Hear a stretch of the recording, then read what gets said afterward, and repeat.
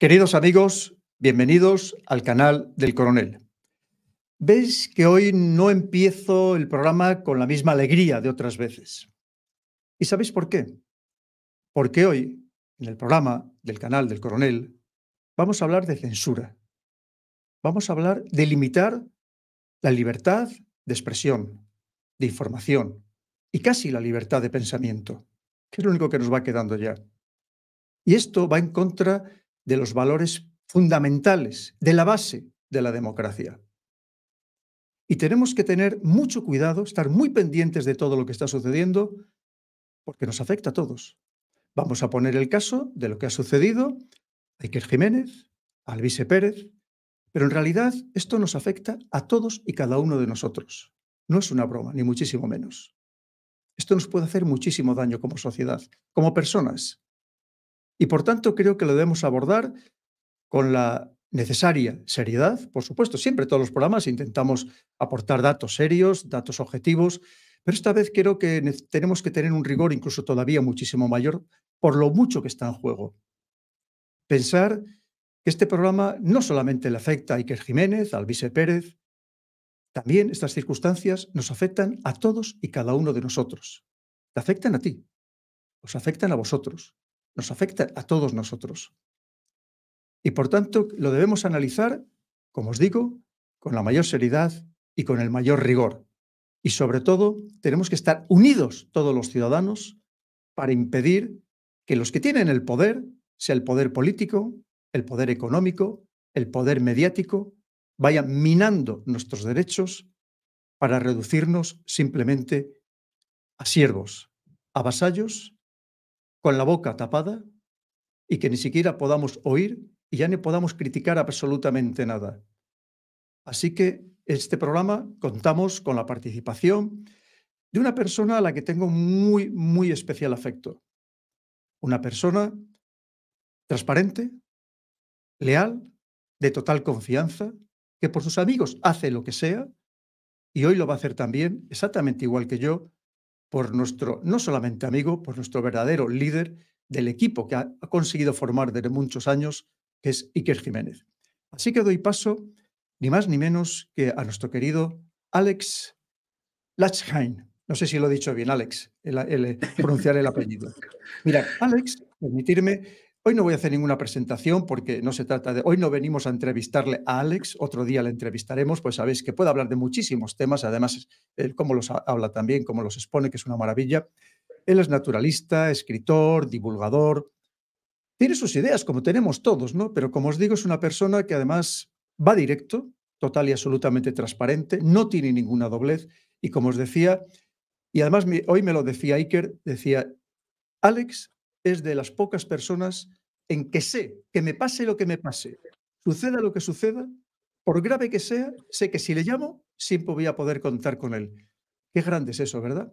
Que diga de ti alguien, una persona que diga esas frases, esas palabras, yo creo que con eso ya es la mejor de todas las presentaciones. Alex, qué situación más terrible estamos viviendo, ¿verdad? Y ahora detallaremos a todos nuestros eh, queridísimos oyentes, a toda nuestra audiencia, detallaremos exactamente todo lo que ha sucedido para que estén alertados de todo lo que nos puede pasar a partir de ahora, porque esto desde luego va a ser cada vez más una constante.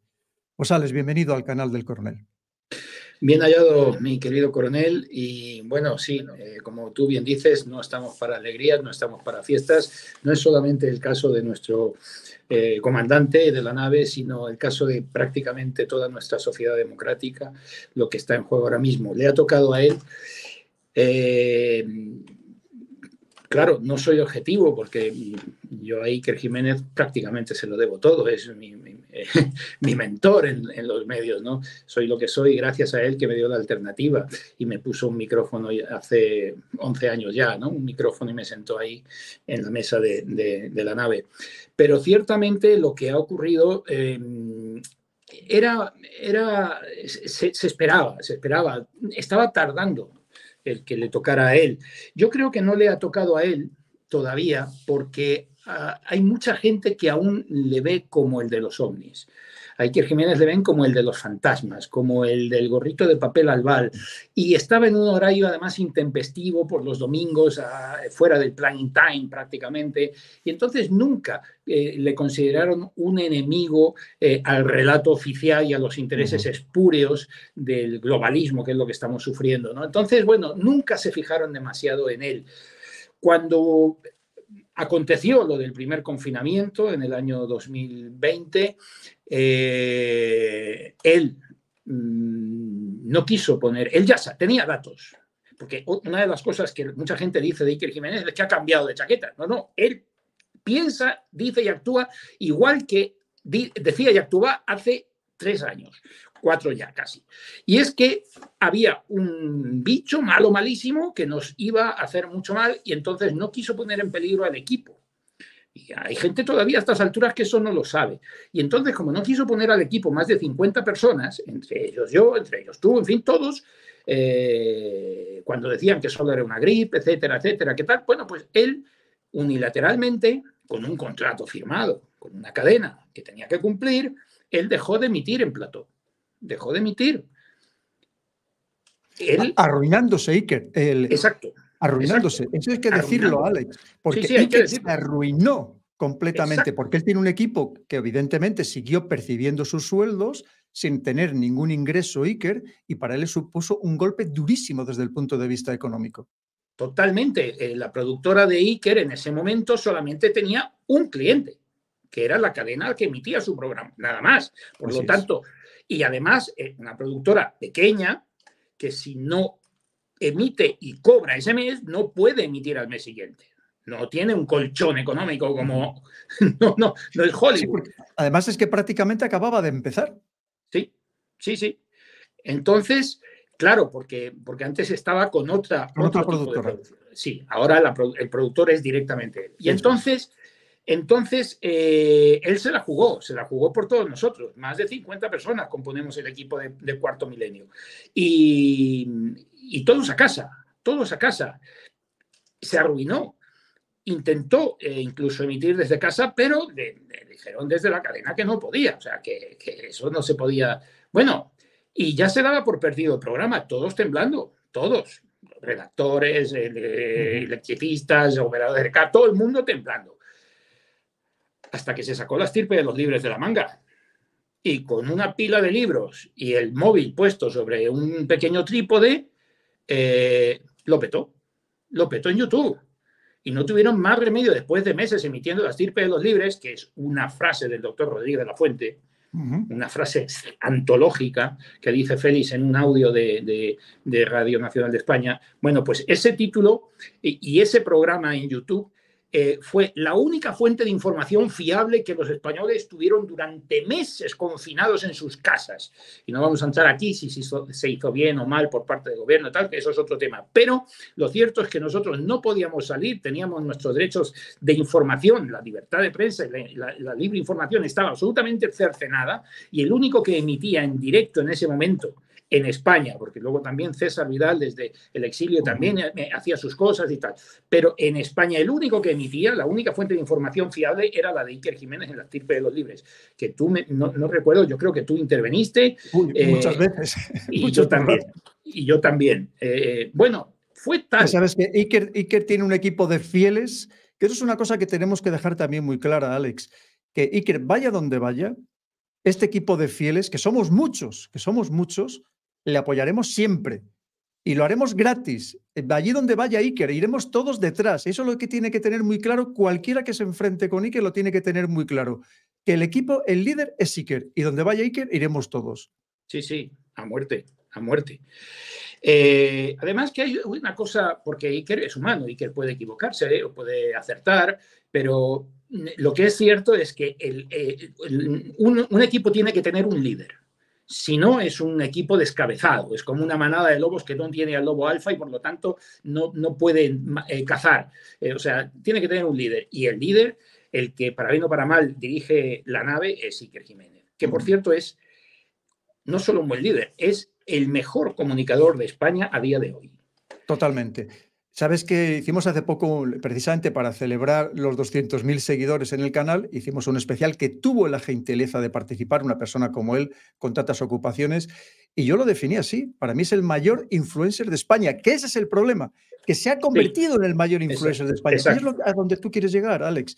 Sí. Que pasó de, oye, de ser, oye, sí, el de los fantasmas y los ovnis, a de repente una persona con influencia que ya allí donde voy, donde voy, todo el mundo me pregunta por Iker. En España, en América y hasta en Marruecos. Todo el mundo, donde voy, todo el mundo. Y evidentemente eso empieza a dar miedo, porque ya sabes, al final que se haya un influencer que se salga de la tónica general o de la narrativa oficial, oye, claro, esto eh, eh, preocupa, evidentemente.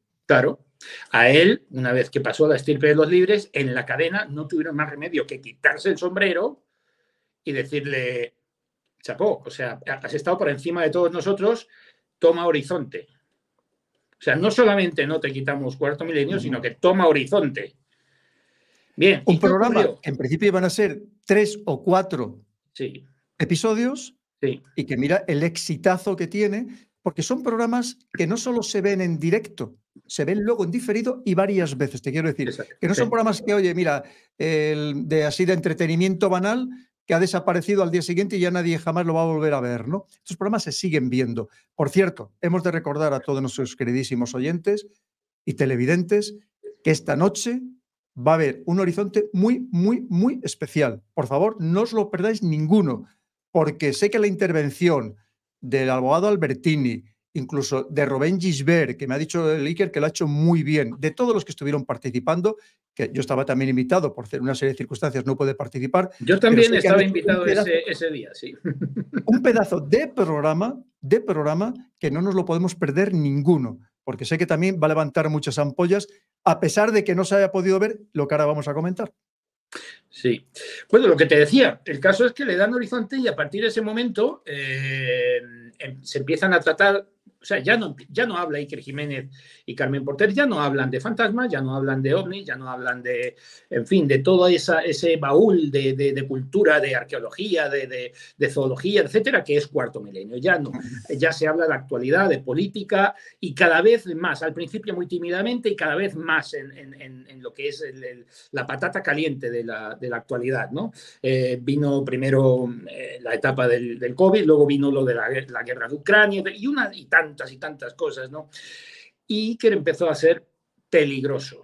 Peligroso porque aunque el horario es intempestivo, las 11 menos cuarto de la noche, a pesar de eso, eh, la gente que hay, que ya no es prime time, ya, no hay tanta gente como viendo el reality, el partido de fútbol, la película, eh, lo que sea. No, no, es menos gente, pero la gente que hay, toda está viendo Horizonte, toda. Toda, claro, es verdad. Claro, ¿y qué ocurre? Que, que el mensaje de Horizonte cada vez es más libre, porque hasta ese momento nadie le, coarta a Iker Jiménez. No, es el de los ovnis, es, el del gorrito de papel albal cuando el COVID, tal, no sé qué, pero, pero cada vez empieza a meterse en temas más escabrosos su canal de YouTube cada vez tiene más seguidores, no sé si llega al, millón de seguidores, una cosa así, no sé por ahí. Sí, ya ha superado el millón de seguidores. De hecho, cuando hicimos el programa, él tenía detrás la placa, esa que le dan por, por tener un millón de seguidores.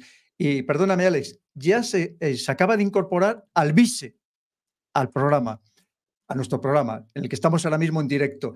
En un momentito le vamos a dar paso, porque quiero primero que terminemos de contar lo que tú me estás contando, y le vamos a dar paso al vice para que nos cuente en primera persona qué es lo que de verdad ha sucedido. Y he de decir que al vice habrá quien le caiga mejor y quien le caiga peor, pero ha tenido un gesto de lealtad hacia Iker con las palabras que le ha dedicado, sobre todo en su canal de Telegram, esto creo que ya merece solamente escucharle solamente por esa deferencia que ha tenido con Iker, porque no todo el mundo tampoco lo hubiera tenido. Lo que ha dicho de que Iker es el valiente, de que no le, no le culpa de absolutamente de nada, porque evidentemente no se le puede culpar de nada, pero como digo, no todo el mundo hubiera tenido esa generosidad que ha tenido Alvise con Iker. Y ahora, dentro de un momento, le vamos a dar paso para que nos lo cuente, pero termina, por favor, es que ya te estoy interrumpiendo demasiado. bueno, no, te decía que ya Iker eh, empieza a ser un personaje incómodo, le empiezan a marcar cada vez más, pero, pero eh, sigue estando mal acostumbrado después de tantísimos años, de la temporada 19 eh, de cuarto milenio en la cadena, y entonces, pues nunca se ha visto, él jamás le ha dado una línea argumental a ningún invitado, ni le ha dicho lo que tenía que decir. Y es un programa Horizonte en directo, no puede cortar, eh, no me puede meter la tijera, no hay una postproducción. Pero tampoco a él desde arriba nunca le han dicho a este señor no lo puedes traer, no lo puedes entrevistar o, corta esto, jamás se lo han dicho. Lo que ocurre ahora es muy grave porque, como, hemos, eh, como es el título de esta emisión, Pedro, mm, Iker sufre en la misma semana dos censuras. Dos censuras que para un personaje como él son absolutamente catastróficas. La primera es por este mismo tema. Es decir, eh, em, hacemos memoria, el juez Santiago Pedraz. El, ah, perdona, sí, fue el sábado Santiago Pedraz eh, quiere tumbar Telegram mediante una resolución judicial por una serie de em, pleitos que tienen tres eh, grandes grupos de comunicación por derechos de emisión y quiere tumbar Telegram, es decir, matar moscas a cañonazos también, y eh, la resolución es inminente, me parece que sale un viernes y el, lunes, un jueves, un viernes y el lunes hay que, las operadoras tienen que cortar Telegram y entre ellos, entre los afectados, está una persona que es Alvise Pérez, cuyo máximo altavoz en este momento es Telegram porque se presenta a las europeas. Correcto. Y entonces es un afectado directo. Este tema sale en el programa de YouTube de Iker Jiménez, La estirpe de los libres. Y eh, intentan contactar con Alvise, no pueden. Yo incluso le facilito su número de teléfono. Digo, mira, este es el número, pero no pueden porque evidentemente no se puede desdoblar y Alvise está en otro programa en YouTube en ese momento. Bien, solamente el nombre de Alvise Pérez, solamente el nombre en YouTube de Alvise, Pérez hace que esa emisión de YouTube en directo sea tumbada antes de acabar. O sea, durante el propio directo tumban el programa desde YouTube sin dar ninguna explicación. Y claro, ¿cuál es la sorpresa? Que un programa como Horizonte, que iba a tratar evidentemente este tema porque es actualidad, un programa como Horizonte, eh, que es en directo siempre, pero que tenía una parte grabada porque era, en fin, fiestas de Semana Santa y entonces pues no, todo podía ser en directo, eh, es la entrevista al Vice Pérez. Hacen la entrevista, se graba un lunes y una vez acabada la entrevista, pues la cadena decide que no se puede emitir cosa que ya había hecho anteriormente con otras entrevistas de este señor. Y entonces, pues, Iker Jiménez, que es una persona que se viste por los pies y le había dicho a Luis Pérez, tu entrevista va a salir al aire, no te preocupes, que, es mi programa, no tiene más remedio que descolgar el teléfono y decirle, pues que no va a poder salir, que no me dejan. Y entonces Luis Pérez toma la iniciativa de hacerlo público. Y en esas estamos. Si Alvise Pérez no, no, no lo hace público, nadie se entera. Y ahora los medios ya no lo pueden tapar. Ha ocurrido. Es decir, eh, le han cortado, le han censurado nada menos que a Iker Jiménez, posiblemente, como tú dices, el mayor influencer y posiblemente el mayor comunicador de España a día de hoy, le han eh, censurado su programa. Es la primera vez y es muy grave porque esto es una punta de lanza para lo que puede venir de, después. Así. Ah, Desde Bruselas quieren censurar todo. Lo que tú dices que el, es que Iker siempre es el abanderado, ha sido el abanderado en el mundo de los medios de comunicación de la libertad total. Mira, todavía me recuerdo, te podía poner muchísimos casos, pero uno de los más recientes, estando, estando en la misma mesa y en plató, eh, que el Roberto Vaquero, que dijo, Iker es el primer programa en el que no me han dicho lo que tengo que decir o me hayan puesto ninguna limitación sobre lo que voy a decir. Y, que Iker dijo, ¿pero qué me estás contando, Roberto? ¿Pero cómo te van a decir? Sí, sí. Y empezó a contar Roberto Vaquero casos de programas donde le había dicho, no toques este tema, con este tema ten cuidado, no te metas con tal persona, porque en eso estamos. Entonces, para Iker ha sido un shock total, porque cuántas veces y cuántas personas me decían, pero ¿cómo dejan a Iker decir las cosas que dice? Si no, esto ya no lo dice nadie. Tenéis un programa totalmente diferente. ¿Cuántas personas me dicen? Yo es que ya solamente oía Horizonte porque de los demás programas no me fío en absoluto porque sé perfectamente lo que está pasando. O amigos míos tertulianos habituales que les han dicho, mira, no vuelvas porque has criticado al gobierno y nos han dicho que ya no puedes volver. Ese espacio de libertad total que teníamos, de repente se nos ha hundido, se nos ha caído abajo, se nos ha venido totalmente abajo. El, cuando, es el sábado pasado, estaba yo también en el canal, porque estaba en el estudio que tiene el Rubén Gisbert allí en Denia, estábamos compartiendo allí el estudio y participamos en el programa con, con Iker.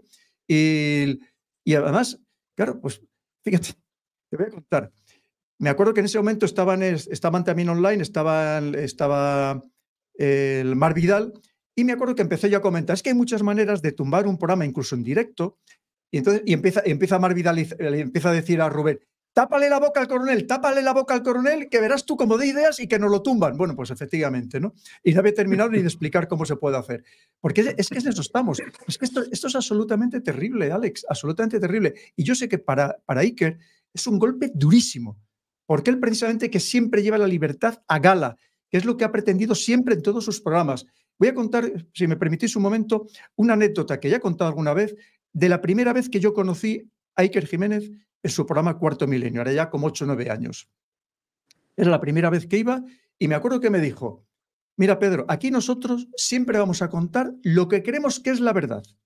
Podemos estar equivocados, evidentemente, como todo el mundo, pero nunca jamás vamos a mentir, ni a exagerar, ni tampoco a quitarle hierro si hay que poner el hierro suficiente porque queremos contar la verdad, porque precisamente el que va con mentiras, el que va con falsedades, antes o después la audiencia se da cuenta y esto no tiene ningún sentido.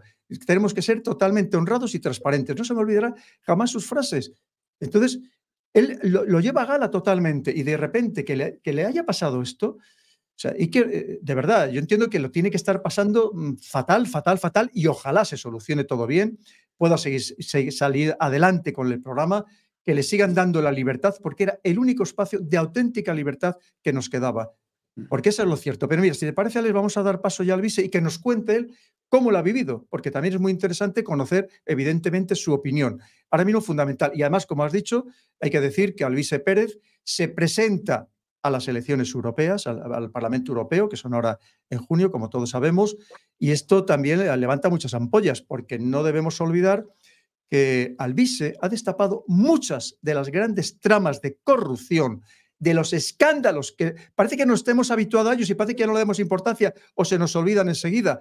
Pero muchas de las cosas que luego han salido en la prensa o han ido a juicio ha sido gracias a la labor de investigación Exacto. de Alvise. Y luego los medios se apropian de esas exclusivas como si fueran de ellos. Correcto. Cuando la primera voz que las pone negro sobre blanco es este señor, que algunas veces acierta y otras veces se equivoca como todo el mundo, pero ahí está en la trinchera y cuando, cuando les toca a los medios eh, dar la gran exclusiva, nunca le mencionan. Totalmente. Y esto no está bien. Y en algunos casos con investigaciones que ha comenzado hace dos o tres años y que surgen ahora y a conseguimientos que ha hecho. Es decir, además con una labor que yo a veces me quedaba asombrado. Yo también le sigo en Telegram desde hace mucho tiempo y yo decía, madre mía, ¿cómo puede tener esa capacidad para, obtener toda esa información? Porque no es fácil.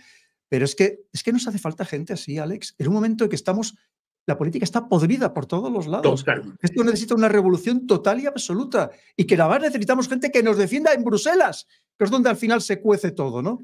Y claro que sí. Entonces yo entiendo que una persona como Alvise, que ha dado caña a izquierda, a derecha, a extrema izquierda y a extrema derecha, pues evidentemente se convierte en un personaje molesto. Al centro ya no, porque no existe. ¿Perdón? Que al centro ya no le puede dar caña porque no existe. Ya, ya, efectivamente. Pero claro, entonces, ¿qué pasa? Pues que no quieren que su voz, precisamente, esté en un programa que hoy la gente respeta al máximo. Porque que una de las cosas que ha conseguido es una voz, ser una voz autorizada, ser una voz respetada. Porque una vez más lleva gente de todos los perfiles sin marcarles ninguna limitación de ningún tipo, llamar lo que tú dices en directo, que es que ahí es, es, que es imposible cortarlo, pero es que encima es que no lo corta nadie. Con lo cual, claro, que alguien como Alvise apareciera en el programa de Iker, pues seguramente esto habrá habido muchas presiones por muchos lados porque yo no voy a juzgar, evidentemente, lo que han hecho los directivos de la cadena, una cadena que además yo he tenido un programa en esa cadena y les estaré siempre infinitamente agradecido, evidentemente, y que sigan contando conmigo, lo mismo que contigo, por supuestísimo, pero que seguramente habrán recibido presiones por muchos lados para que la voz de Alvise, en estas circunstancias tan concretas que estamos viviendo en España y en Europa, no se oyera. Pues aquí vamos nosotros a tener la fortuna de oír a Alvise. Buenas tardes, Alvise, bienvenido al canal del Coronel. Hombre, claro, si me hacéis esta estradilla, me dan ganas de venir muchas más veces. Encantado de estar aquí. ¿Es verdad o no, Alvise, todo lo que hemos dicho? ¿Esa es la realidad? Eh, sí, sí, con vosotros ya no voy a hablar más con abuelas ni con mi madre porque... no, sobre todo porque, claro, normalmente estoy acostumbrado a leer artículos que hablan fatal de alguien y cuando voy al final del artículo digo, coño, pero si estaban hablando de mí. Esto es al revés. Eh, muchísimas gracias por invitarme a este programa, don Alex y don Pedro. Pues mira, Luis, nos gustaría que tú nos contaras, para que se entere también toda nuestra queridísima audiencia, cómo lo has vivido tú.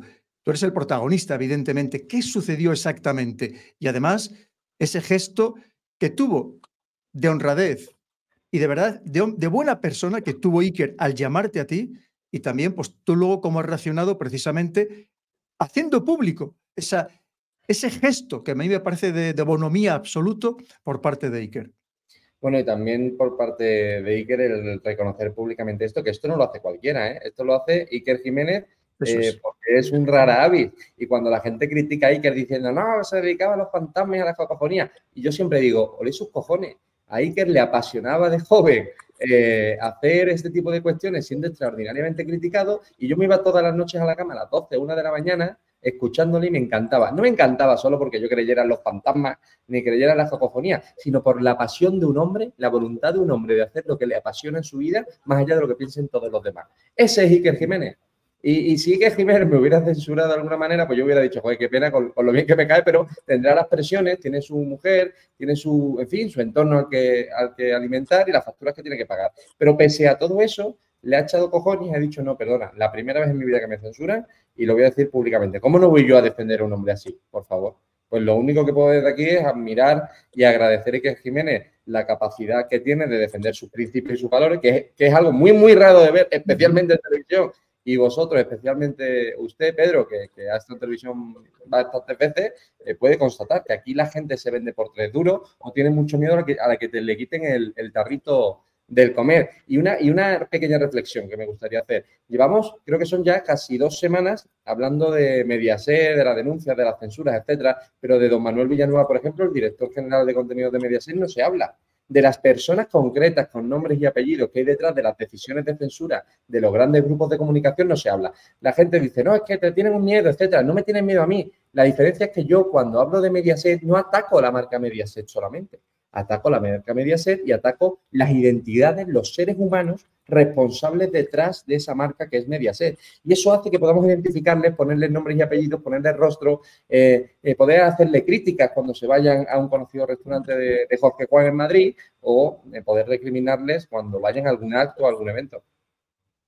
Entonces, ¿qué fue exactamente? Por cierto, Dentro de un momento vamos a dar paso a una persona que me gustaría de verdad que, aunque fuera virtualmente, Alvise, os dierais la mano y os dierais un abrazo como el abrazo de Vergara, porque creo que es una persona con la que tienes que estar mucho más en coordinación.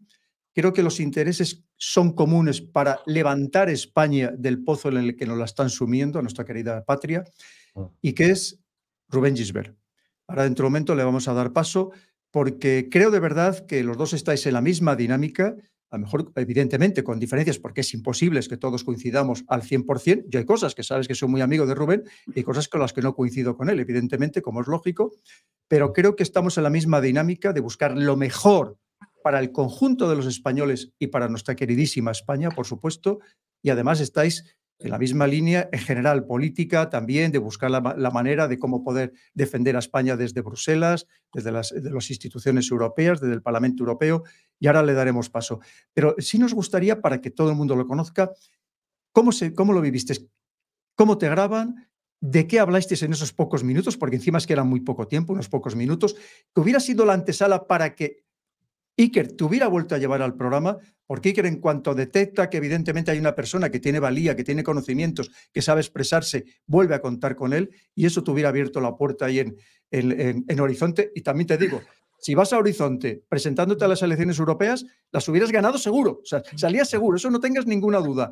Porque, eh, mira, mira Alex, Alex, ¿es verdad o no? Alex decía antes que él todo lo que se lo debe a Iker. Pues exactamente igual que yo exactamente igual que yo. Yo donde voy me llaman eso, el coronel de cuarto milenio, el coronel de Iker. Somos el equipo de Iker, evidentemente. Doy fe, e doy fe. Es como el rey Midas, lo que toca lo convierte en oro. y hubieras, vamos, hubiera salido dos programas que hubieras ido a Horizonte, ya tienes garantizado tu paso como eurodiputado. Pero cuéntanos, por favor, el, todo lo que ha sucedido, Alvise, que tú, nadie mejor que tú que lo has vivido en primera persona. Y, era a través de su equipo técnico contacta conmigo eh, por mi número de teléfono personal y me piden que hable eh, de forma audiovisual durante unos minutos sobre lo que ha pasado con Telegram, teniendo en cuenta, me decía el equipo técnico, que soy el principal afectado por tener el canal más viral y con mayor audiencia de Telegram en, nuestro país, que es España. Eh, doy mi opinión, fíjate, sin meterme explícitamente con la cadena, eh, que yo recuerde, porque a lo mejor me meto con ella sin recordar lo del automatismo que tengo de criticar al grupo informativo y, y, se lo envío y recibo el ok, fenomenal y fantástico, que lo van a publicar de forma íntegra, pero creo que fueron menos de 48 horas después que me comunican que lamentablemente pues la cadena decidió eh, eliminar esa parte mm, como condición sine qua non para que se, se, publicara el programa, que no se podía ni publicar mi nombre, ni publicar absolutamente nada relacionado conmigo, ni el vídeo que grabé para que se emitiera allí. Algo que sí que me esperaba, es decir, yo lo que no me esperaba es que Iker Jiménez tuviera esa brutal independencia de invitarme y darme, darme voz en Mediaset. Cadena, por cierto, que he leído de todo últimamente, eh, con la que no tengo ningún pleito judicial.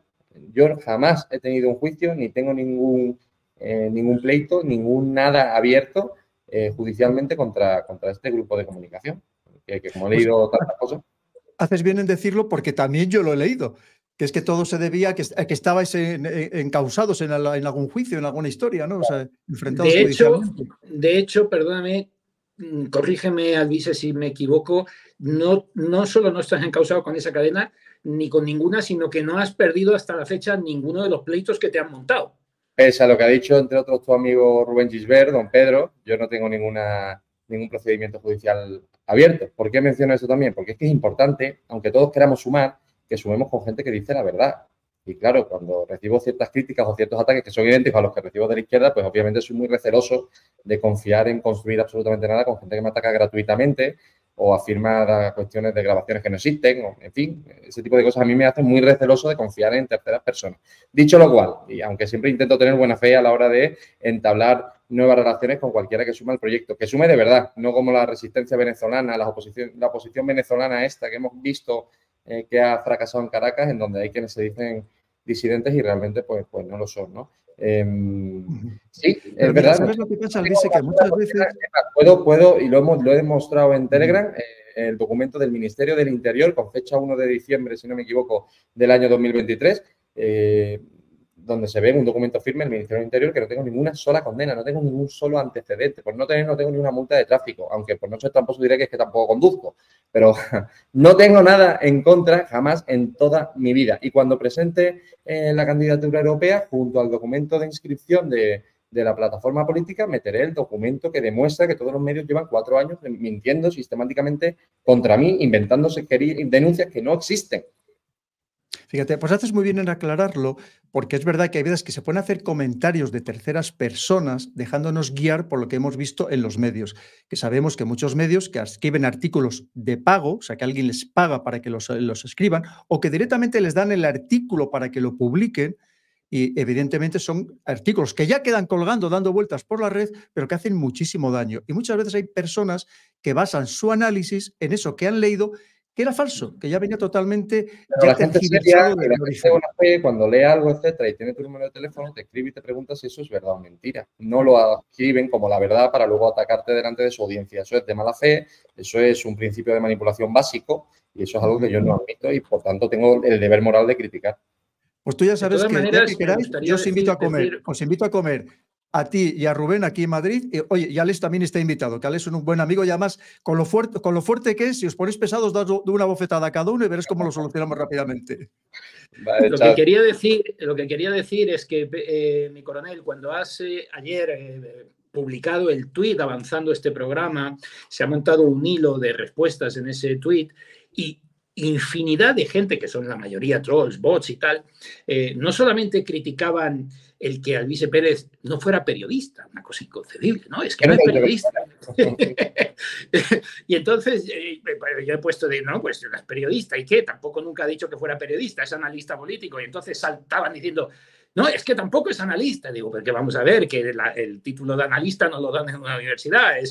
pero mm, mucha gente decía, el condenas el condenas. O sea, esa es una, es una mentira, pero que circula como una bola de nieve, el condenas no solamente a Alice Pérez, a otros tantos como Negre y como tal. Han hecho noticias en el país o en el diario, en el plural, de tweets míos o de capturas de Telegram mías que yo no he publicado jamás para que os hagáis la idea de hasta qué punto sufro yo este tipo de cuestiones. Yo nunca he hecho loas a Hitler, como he leído, a Falange. Yo nunca he dicho que no sé qué persona ha matado a otra, etcétera. Que, por eso siempre me denuncian y, y gano en los tribunales. Cogen una captura mía aunque mantengan la imagen, eh, cambian el texto y lo viralizan por redes. Y Alvise Pérez ha dicho, y no lo he dicho nunca. Eh, ayer, por ejemplo, en un programa en el que estuve digital también, en la reunión secreta, se Sí, buenos amigos.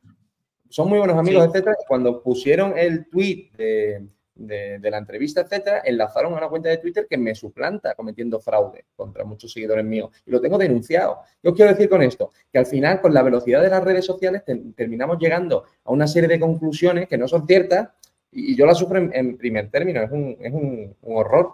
Pues, ¿qué, ¿qué, te voy a contar, Alvis? Algo de experiencia tengo al respecto, ¿sabes? Y lo mismo con artículos que te digo, que sacan muchas veces en medios pequeñitos, pero te sacan un artículo tremendamente dañino, que claramente va dirigido a desprestigiarte, a, como digo yo, a asesinarte digitalmente. Y, pero, y hay gente que luego se basa en ese artículo para seguir dándole vueltas, ¿no? Gente enemiga de la izquierda y también gente que se autoconsidera disidencia y que está también teóricamente entre nuestras filas. Por eso me encanta que, que metáis aquí a Rubén Gisbert y aclaremos las cosas cara a cara. Yo encantado. Pues sí, sí.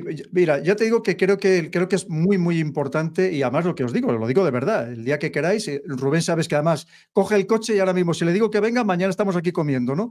Porque no, no vamos, le encanta conducir, no, tiene ninguna pereza y, viene enseguida inmediatamente lanzado. Mañana me voy a Galicia, que estoy de pues campaña, pero pues mira, le, voy a dar paso ya aquí a nuestro queridísimo amigo. Pues sabes que yo tengo mucha amistad con él. Además, de cierto modo, casi me considero su protector porque, bueno, le estoy ayudando a salir adelante. Creo que es un joven, de verdad, eh, Alvise, te lo digo, con muchísimo futuro.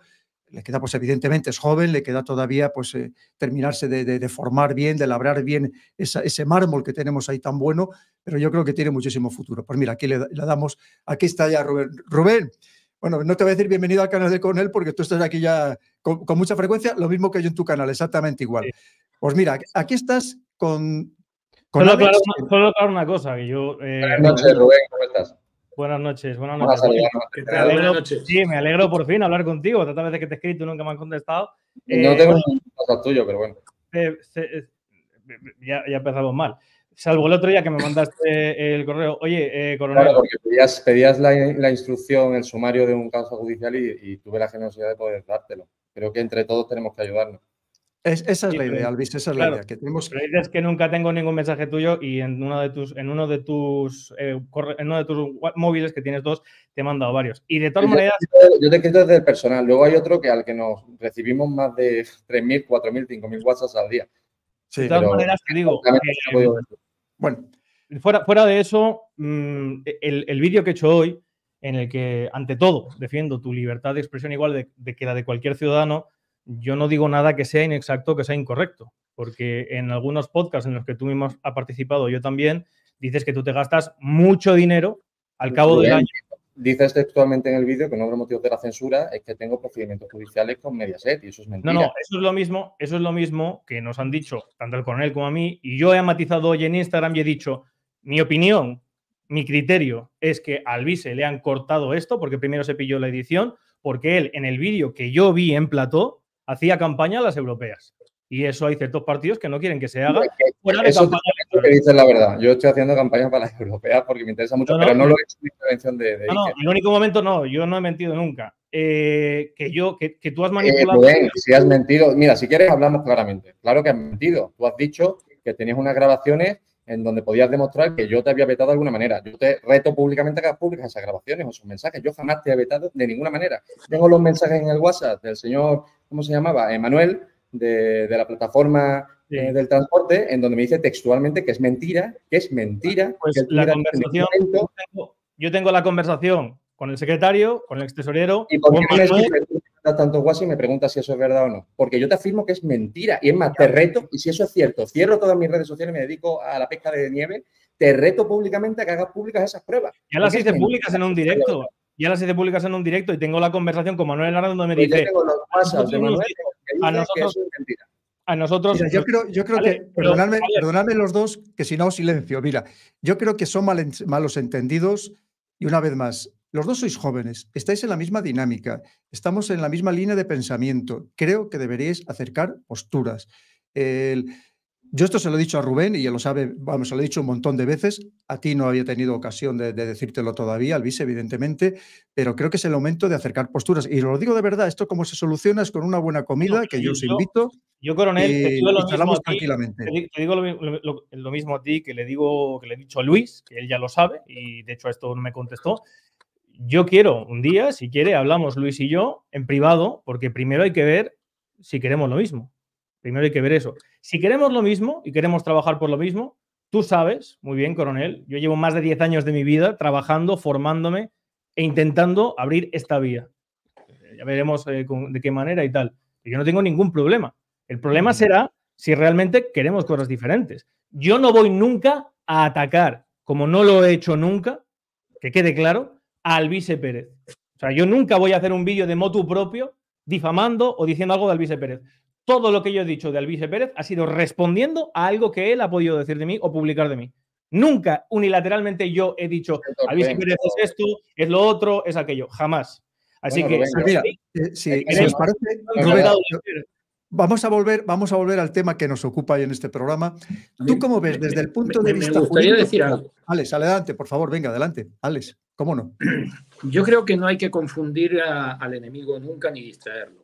Nosotros vivimos una época muy oscura ya, que seguramente, mm, le decía al coronel, tiene difícil solución y de la cual de este país no van a quedar ni los escombros como no tomemos medidas serias. El enemigo es uno para todos es común a todos, a muchos sectores, a casi todos los sectores. Mira, yo siempre pongo el ejemplo de los Estados Unidos, que tienen muchos defectos, pero son una gran democracia.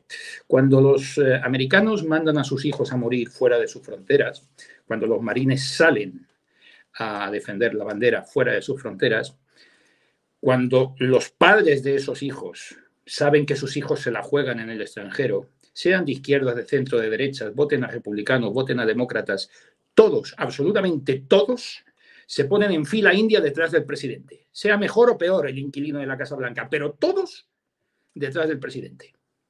Y no se mueve una hoja. Y hasta que no vuelve el último de los marines, aunque se ha metido en una caja de pino, nadie rechista. Todos unidos detrás del presidente, porque hay un enemigo común y hay que unir fuerzas. Y la unión hace la fuerza. Cuando ya vuelve el último, entonces ya se vuelven a, pelear entre ellos, etcétera, etcétera. Estamos en esa tesitura de división. Yo lo sé por mi sector, mi sector que es el sector de, la naturaleza, de los ecologistas, de los cazadores, de los omnívoros, etcétera, de los toreros, de los circos, de los zoos, y todos están divididos. Cada uno eh, solamente eh, eh, defiende su parcela y además se pelea con el vecino. No, no, estáis equivocados. El enemigo es común a todos. Yo por eso, Entonces, ahora no es el momento de dividir, es el momento de unir fuerzas. Ya tendremos tiempo de pelearnos después. Mira lo que está pasando con los agricultores y los ganaderos. aprovechando lo que, lo que dices, Pedro, em, yo personalmente, y perdóname que os hablo en plata, no estoy para gilipolleces ni para niñerías. ¿Qué os quiero decir con esto? Yo me juego delitos de secreto de relación eh, oficial del Estado. Es decir, yo me juego penas de cárcel por revelar audio de altos cargos del gobierno de España, no por hablar desde, desde una habitación, perdóname. Yo me juego delitos muy gordos por revelar secretos de Estado contra la calaña más corrupta de la historia democrática, entre comillas, porque yo no me creo que esto es una democracia de este país. Yo me juego tener en contra a narcotraficantes porque he publicado la ubicación de narco, narcopisos y es gente peligrosa. Yo me juego, por ejemplo, tener en contra a la judicatura de este país porque he publicado lo que hacen los máximos eh, dirigentes de, por ejemplo, el Tribunal Supremo o la Audiencia Nacional. Yo me juego eso y me lo juego en primera persona. Así que cuando, por ejemplo, me voy eh, a que la UIP nos intente romper la cabeza y el señor Rubén Gisbert con gente de, Junta Democrática eh, siendo golpeada es incapaz de condenar esas agresiones, perdóname, yo quiero construir, yo quiero que podamos sumar todos, yo quiero que podamos de verdad unirnos para contra esta tiranía. Pero por favor, hagamos las cosas bien, no comparemos eh, ciertos perfiles con otros, porque a, mí al final me ofende muchísimo ver ciertas actitudes de ciertas personas que, insisto, se han inventado cosas contra mí, han mentido contra mí.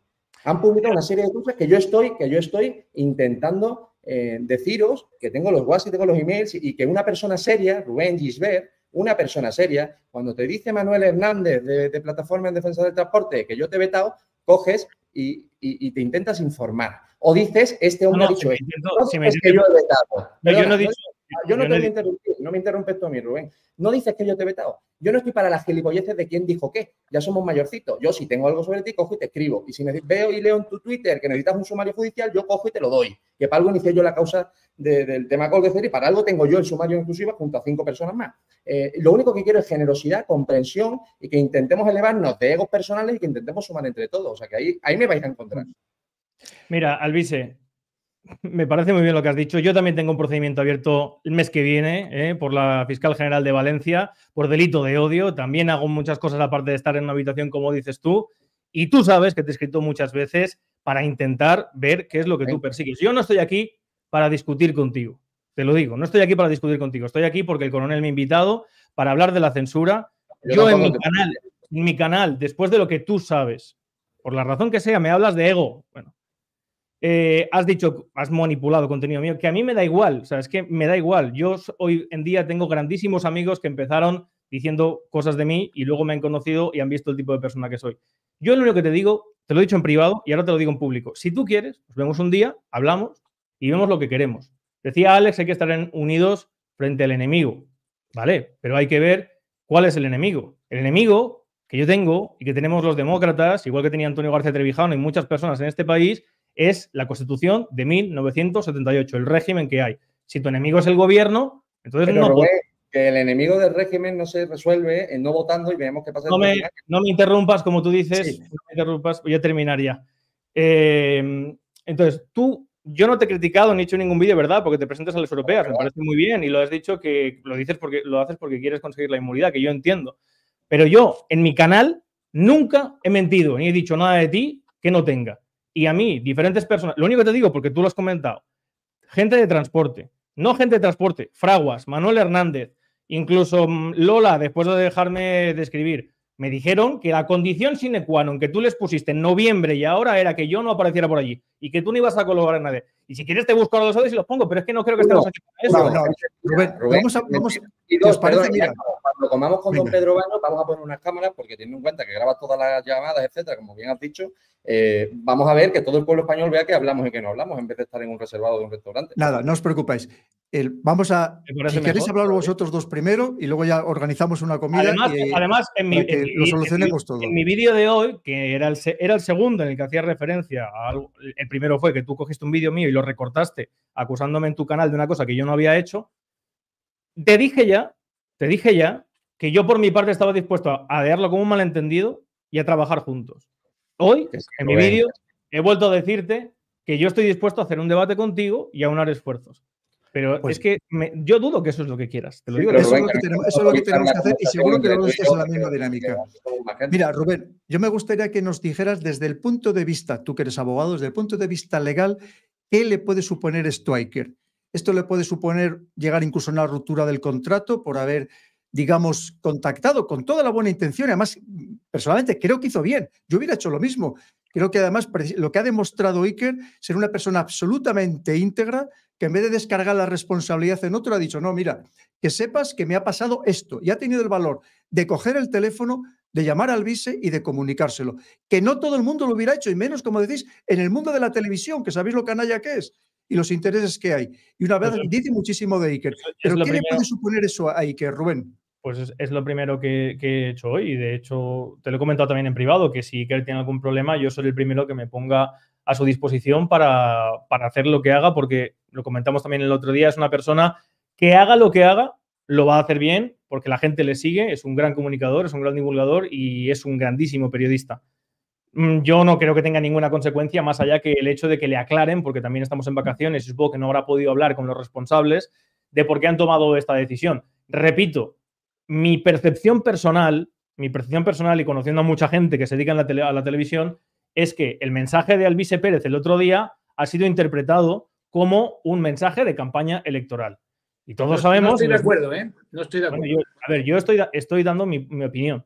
Sí, pero, hay que tener en cuenta los antecedentes y los antecedentes nos dicen que este señor, este señor ha sido entrevistado previamente ya eh, hace tiempo en esa misma cadena y no estaba en campaña para las europeas y sus entrevistas han sido cercenadas, mutiladas y directamente eliminadas, no han salido al aire. Con lo cual, em, esto puede que eh, sea lo de las europeas un aliciente más, pero no vale como es. No, pero lógicamente ahí sí que hay una agresión y de hecho en la mesa en la cual participa, yo estaba y vi, yo, vi durante la grabación del, programa que vais a ver esta noche. Yo tenía que estar también ese día. la participación, yo vi la participación de, de y había gente allí que, pertenece a partidos políticos, pues que no la vio con cierta simpatía porque y esto lo, no, lo, dije yo, lo escuché porque Alvise iba a hacer campaña electoral. Entonces, lo que bajo, esto es mi opinión.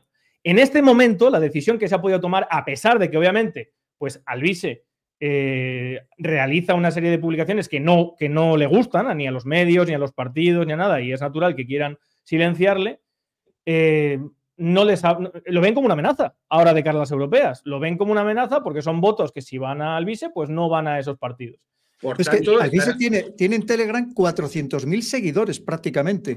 Con que le votara la mitad, ya tiene, el, ya tiene digamos, el, el, puesto de diputado garantizado. todo esto yo considero, porque al final don Manuel Villanueva, dirección general de, director general de contenidos de Mediaset, come y almuerza todos los días con muchos jueces, algunos de los cuales imputan a Rubén Gisbert por delitos de odio y persecución. O sea, Rubén Gisbert obviamente, claro que está siendo perseguido judicialmente y, otros estamos también siendo perseguidos. Han venido a mi casa, ha venido a mi casa a pintar la puerta y nos digo la barbaridad. Rubén, lo que tú sufres es una auténtica locura Tú en Estados Unidos serías un comunicador de éxito millonario y protegido por un gran lobby de nuestro sector y aquí en España está siendo sistemáticamente perseguido y es una absoluta vergüenza.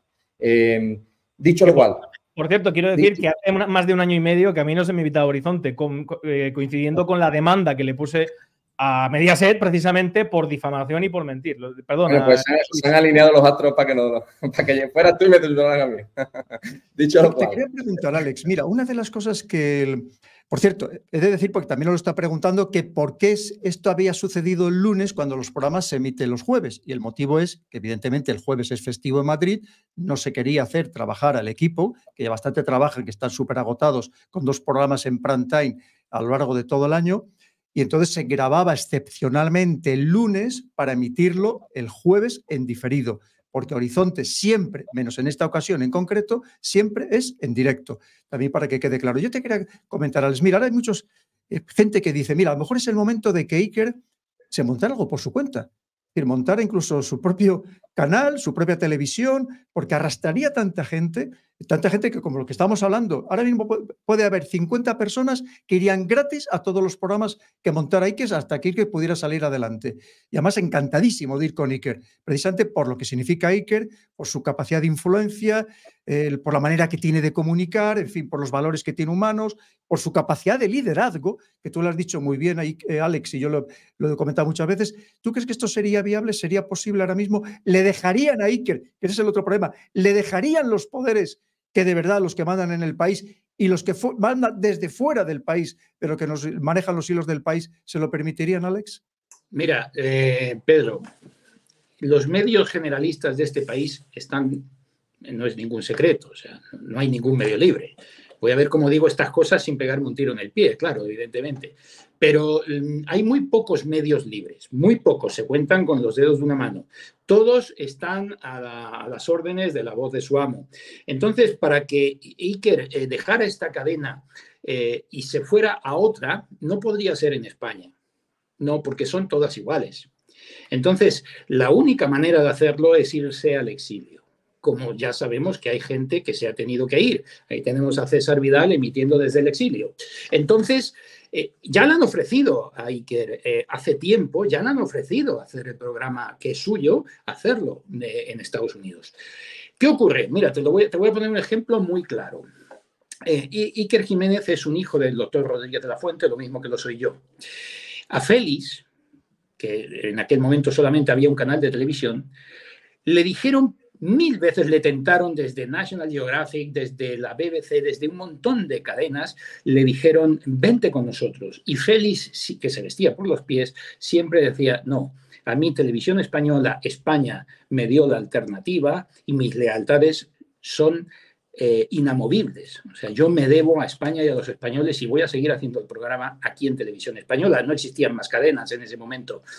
Yo creo que Iker, eh, no puedo saber lo que pasa por su cabeza, pero yo creo que Iker es una persona tan íntegra, eh, tan leal, que evidentemente son muchos años ya en la misma cadena cuando había otro consejero delegado que eran casi una y carne, ¿verdad? No es como ahora.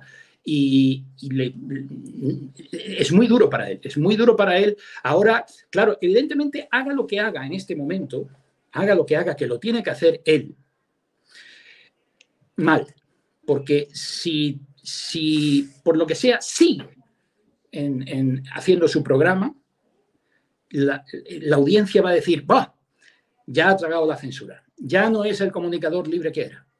Por otro lado, lo que ha hecho Alvise, aireando este tema, que si no los medios lo hubieran tapado y evidentemente nadie se hubiera enterado, es eh, dejar en buen lugar a Iker, porque claro, evidentemente eh, los españoles se han dado cuenta de que él también sufre la censura y que él se ha revuelto como un jabato, pero que evidentemente es como David contra Goliat. No puede, no puede él solo contra un medio de comunicación. Entonces, em, si, si se va mal, porque perdemos todos eh, un, altavoz que tenemos, es una pica en Flandes, que tenemos quizá la única pica en Flandes que tengamos en un medio generalista, y si se queda, pues le van a ver ya como a cualquier otro periodista que traga y que se arrodille y que se baja los pantalones contra el argumentario general que viene dictado desde el último piso. Entonces está en una tesitura tremendamente difícil.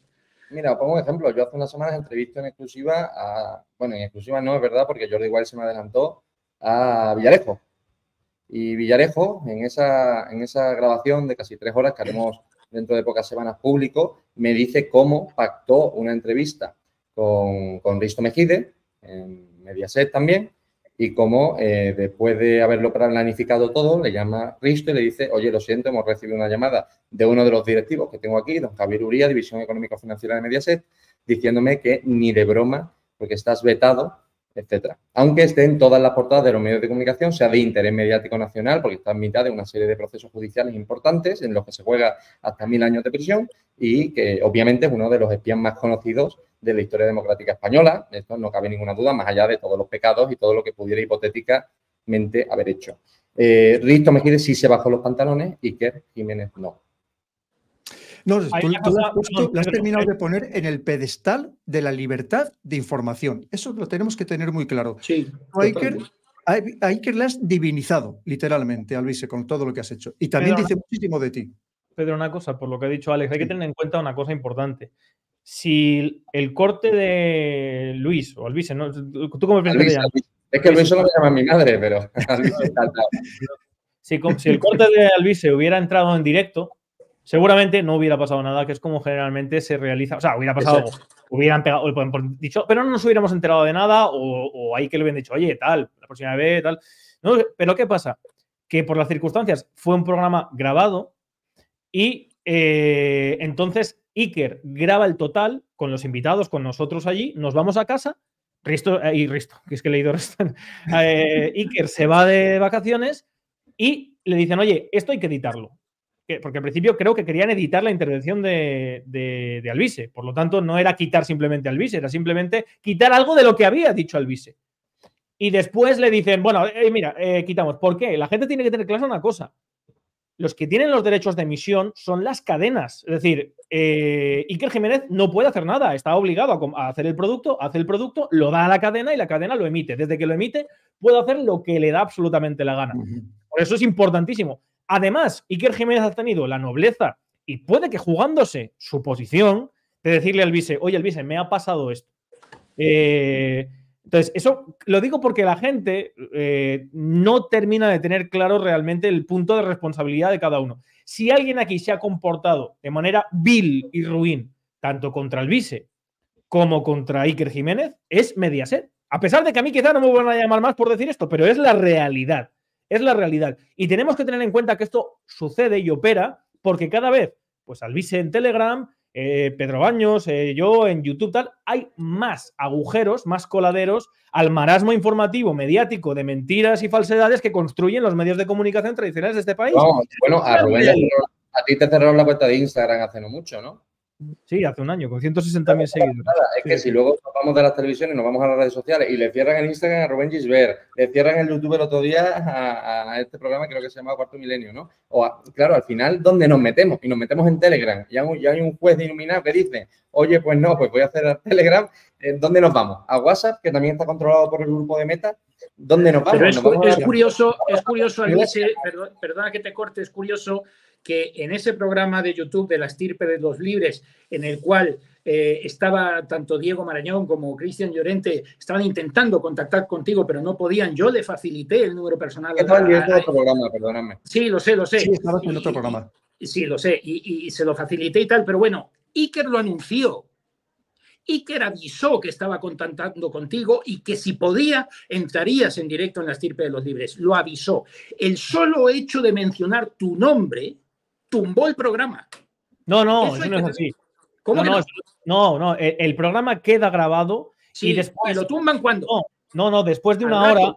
A ver, en, menos de, menos de una hora, ¿no, Rubén? En menos de una hora. Sí, sí, pero esto. Lo que tarda el algoritmo no, no, pero en, en, diseccionar la palabra Alvise Pérez. No, no, no, que no sé por eso. A, ver, yo, Alvise es verdad que es una persona que si pueden borrarla del mapa mediático, pero, pero en este caso concreto, porque lo está hablando hoy con John Palma, buen amigo, Pedro, es que una vez se procesa el, vídeo, hay, ciertos, hay ciertas palabras clave en el tema que estábamos hablando, pero no son el nombre, sino que son precisamente en el contexto del ataque a Ucrania. Y Pedro y yo fuimos, yo creo que demasiado claros a la hora de apuntar precisamente lo que había pasado, perdón, el atentado de Moscú, que no se puede, que eso, sí que, vamos, se tira, se tira abajo. Con el tema de Estados Unidos, con el tema del ISIS, etcétera, etcétera. además te, acuerdas, Rubén, que yo... perdóname, se nos escapa algo. Lo que dice Rubén es absolutamente cierto, el tema del algoritmo, etcétera. Pero lo que luego hay personas con alarmas de Google activadas sobre, por ejemplo, el término Alvise, que va a, a grupos privados con cientos y cientos de personas que automáticamente denuncian fuera del sistema algorítmico tradicional, que, es el que menciona Twitter y que tiene ahí toda la razón. Más, tú mismo has sufrido este, este, tipo de denuncias masivas en Twitter. solo, hay que también, y a eso también se, eh, se suma, que yo le digo por lo menos a mis seguidores, que se tranquilicen en el chat porque dicen gente, no, Alvisen no sé quién, no, Gisberter no sé cuántos. Tranquilos, ¿vale? Tranquilícense, porque no demos encima de comer al troll. Si ya que hay, como dice Luis, una, una militancia eh, para combatir precisamente para tumbar los directos. Un directo no se tumba si no tienes miles y miles de denuncias eh, de, gente coordinada que está intentando tumbar el, el... otro día precisamente tuvimos un programa con. Que hay grupos organizados para denunciar en masa. Y el algoritmo luego no es capaz de diferenciar. Con que tenga un número de denuncias suficientes, tumba, ya sea por mencionar el nombre de Alvise Pérez, por mencionar los muertos de Moscú, por lo que sea, todo se junta, pero el nombre de Alvise Pérez levanta todas las alarmas y los Red Bears y todos los demás están ahí machacando y denunciando y denunciando. ¿Qué porque mira, hay una diferencia muy importante con respecto al programa que hicimos el otro día.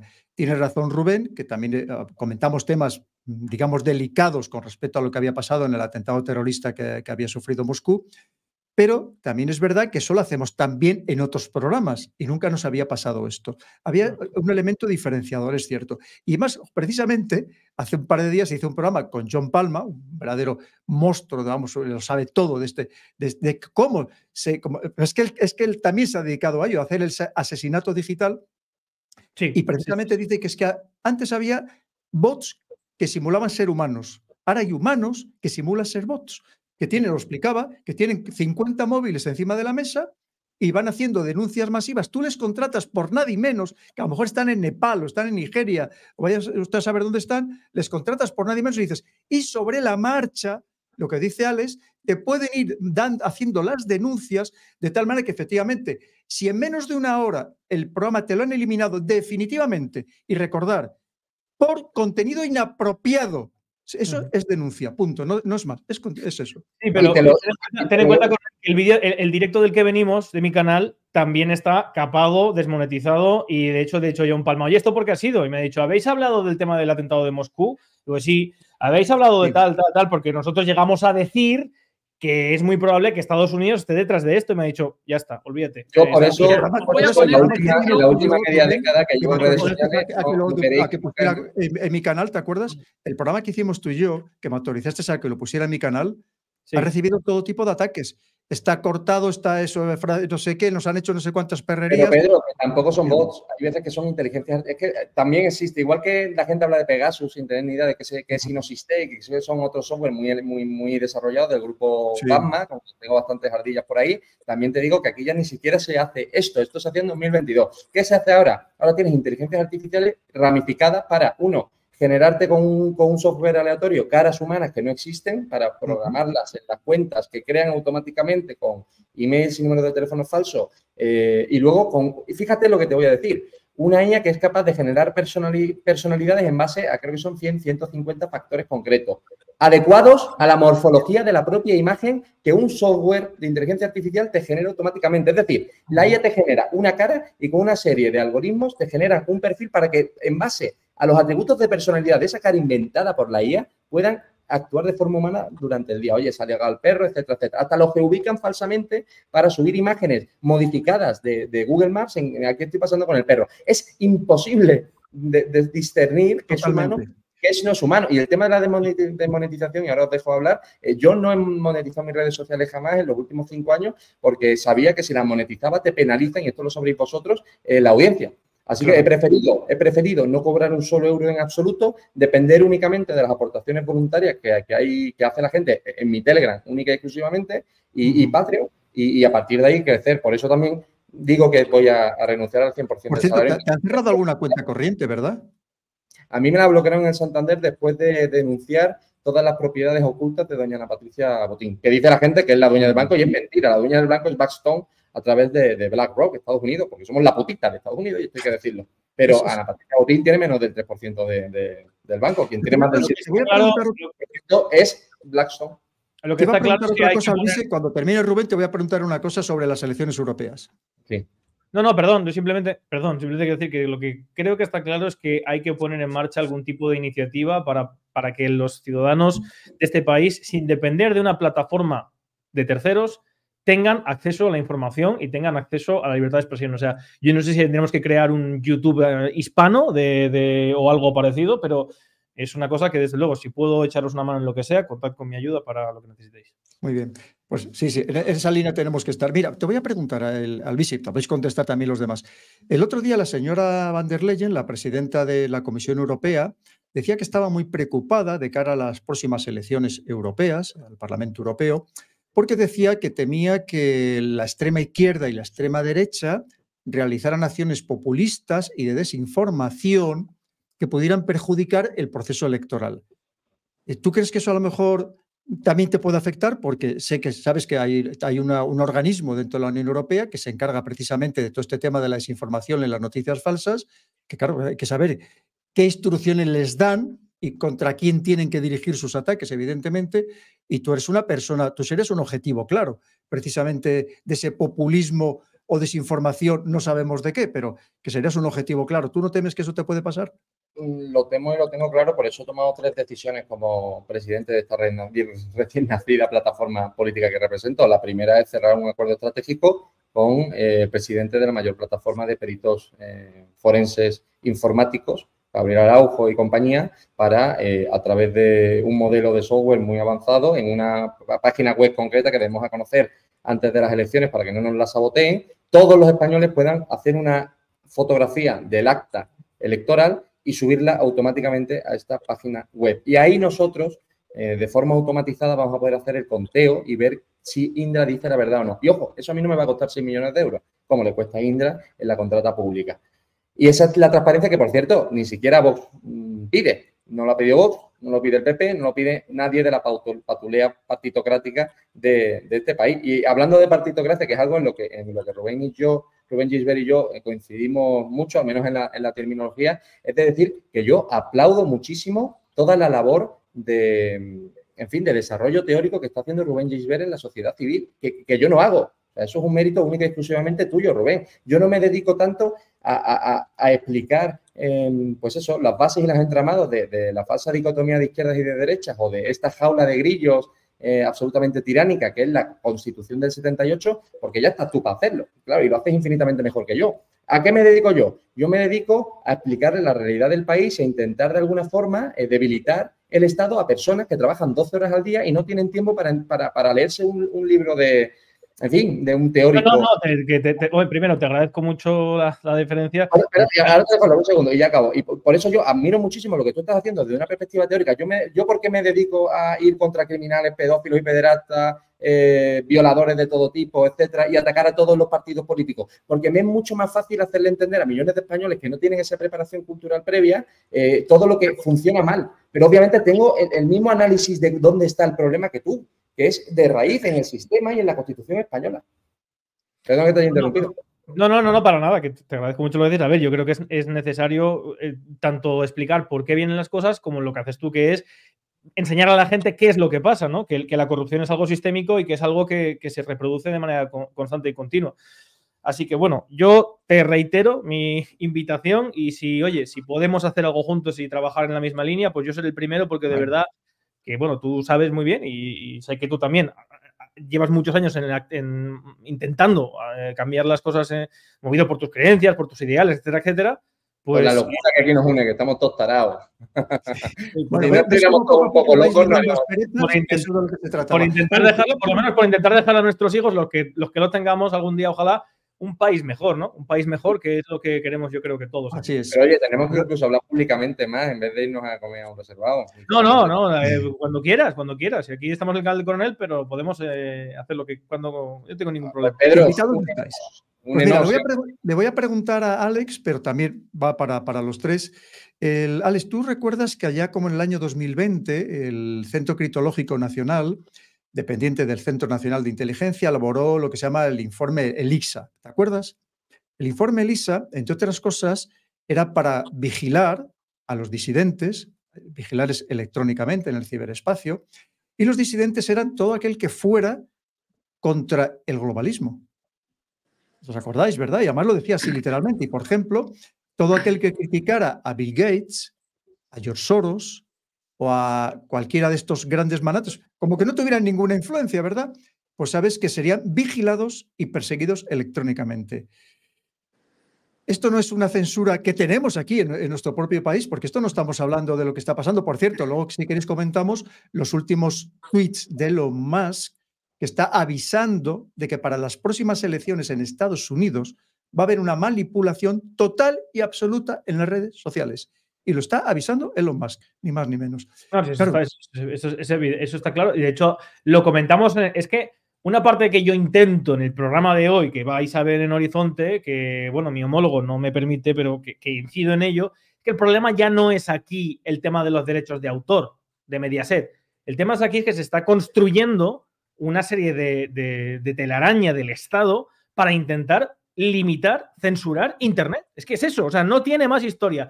Y una, pieza, una, pieza del engranaje es el juez Pedraz, otra pieza del engranaje son los medios de comunicación que ven cómo pierden su hegemonía y todas están trabajando a ver cómo pueden construir. Pero además que viene desde Bruselas, eh, el, totalmente, von der Leyen ya ha dicho, eh, bueno, por cierto, eh, cuando se votó se aprobó esta, no me acuerdo cómo se llama en inglés, la norma que limita la, libertad y los derechos de las redes sociales, y tiene un nombre, ¿no? Sisterac o algo así. Eh, bueno, eso no se opuso ningún eurodiputado a ello. Es decir, aquí todos, todos votaron esa norma de limitación de derechos en las redes sociales a la libre información y la libertad de prensa, porque ellos deciden lo que es desinformación. Unos pocos, unas élites globalistas que nadie ha votado en este país, nadie las ha votado, y son las que deciden lo que es verdad y lo que es mentira, lo que es un fake y lo que no lo es pero nadie les eh, verifica a ellos. Ellos no. Ellos están libres de, polvo y paja. Entonces, tengo que recordar que ningún eurodiputado se opuso a esta norma que ya está en vigor. Es que nos están diciendo los políticos que nos mienten descaradamente a la cara todos los días, todos los días, mañana, tarde y noche, que somos nosotros los ciudadanos los que desinformamos. Pero si son ellos los grandes desinformadores por excelencia, pero los nacionales y los europeos, exactamente igual. si son ellos los que nos están engañando todos los días, los que nos están desinformando o malinformando todos los días. Y claro, qué fácil es decir, yo hago lo que yo quiero y que nadie me replique, que no tenga ninguna versión alternativa, nadie que vaya en contra de mi narrativa, porque le voy a destrozar. Y simplemente es, es miedo, Pedro. Pues sacarte de las redes, sacarte ese del es el miedo que tienen, por eso quieren controlarnos. ¿No os acordáis de lo que decía Pablo Iglesias? No, a mí darme las televisiones es que ese es el verdadero poder, porque aquí las cosas se, claro, se arreglan oficialmente votando, pero para, para que esos votos vayan en la dirección que las élites quieren, hay que crear una tendencia social. Y esa tendencia social se hace día a día en los medios de comunicación. Y si no se controlan los medios de comunicación, y por eso pasan las cosas que pasan ahora también en el programa de Iker Jiménez, desgraciadamente, si no se controlan los medios de comunicación, ellos saben que están perdidos porque al público al ciudadano le llega la verdad completa, no la verdad sesgada, sino la verdad alternativa o completa, y entonces se puede formar una opinión diferente y a la hora de votar, votar al que no toca. Entonces, el verdadero poder es el medio de comunicación, por eso censuran. Don Pedro, eh, iba a preguntar, ¿tú crees que eh, puede haber habido presiones políticas sobre los directivos? Bueno, eso por un lado. Por otro lado, usted, don Pedro, está en un informe junto conmigo de la, Consejo de Estado sobre eh, actores que desequilibran el sistema, etcétera, por nuestras críticas o a Indra o a ciertos actores, etcétera. Entre ellos, los directivos de, Mediaset. Por supuesto, y lo he dicho, don Javier Uría, División Económico-Financiera, y don Manuel Villanueva, Dirección General de Contenidos de Mediaset. A mí es que me gusta más hablar de las personas que hay detrás de las marcas que de las marcas en sí, porque al final la marca es la fiabilidad y la credibilidad de las personas que hay detrás. Esto, ¿sabéis qué es esto? Esto es un informe que teóricamente no existe y que no podré decir cómo lo he conseguido hasta que un juez me impute por ello. ¿Veis qué es esto? Esto es una firma de Indra. Esta, este documento es la constatación de un delito más de exportación ilegal de armas de Indra que he conseguido gracias a ardillas dentro del, del CNI y dentro del entramado más elevado de esta armamentística. Estamos fiando el sistema electoral español. Ojo, y por, publicar eso, que lo voy a publicar antes de las elecciones, seguramente me quieran imputar otro delito. Estamos confiando la credibilidad del sistema electoral en una armamentística criminal que ya ha sido en otros países condenado en firme por fraude. ¿Cómo vamos a creer a Indra, señores? Ese es el principal problema que deberíamos abordar entre todos.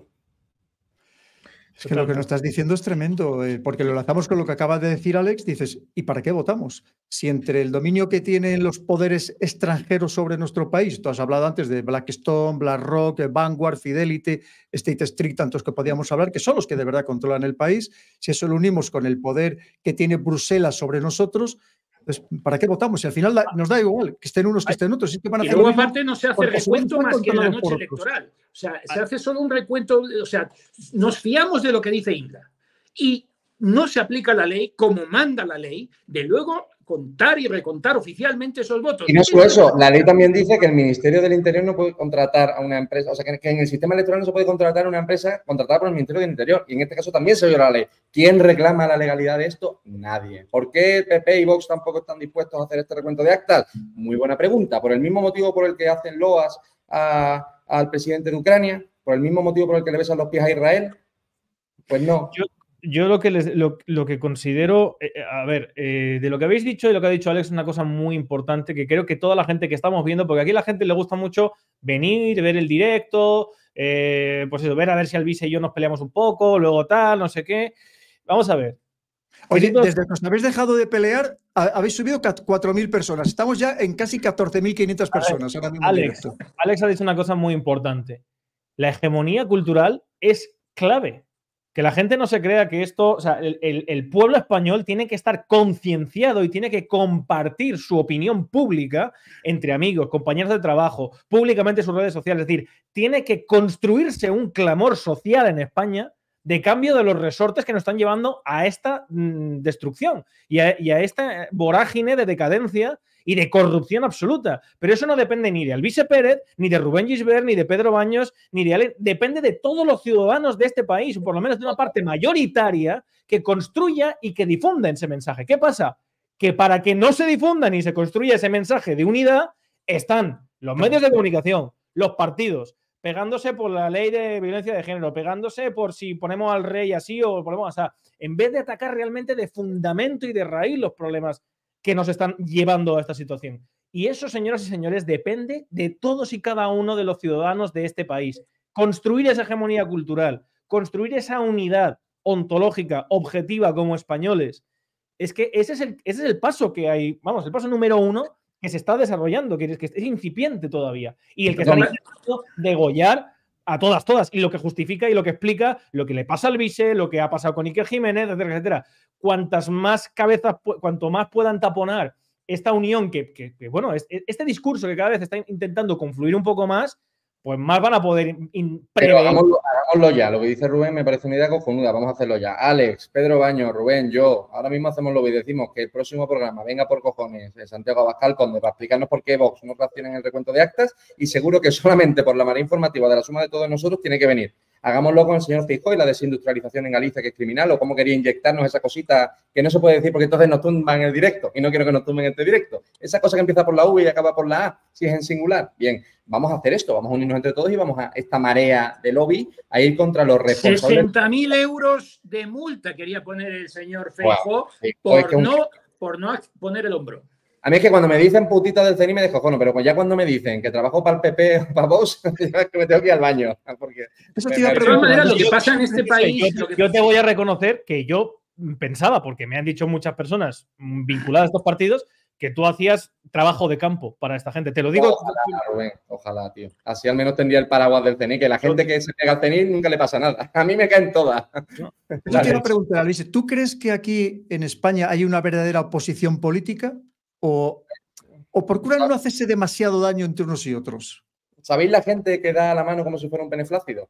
Que te da la mano así para saludarte. Bien, pues esa es la posición de este país, una posición blandengue, pseudo-venezolana, porque están divididos entre ellos de mala manera y que ya se han acostumbrado a ganar 100, 110 mil euros después de estar 30 o 35 años mamando de la política.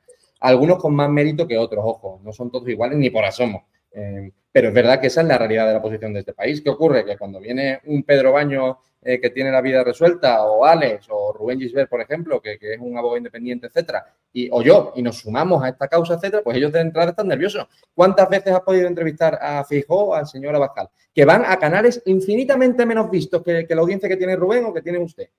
¿Por qué no se suman? si se, teóricamente están más cercanos a nosotros que esa izquierda troglodita, arcaica y criminal.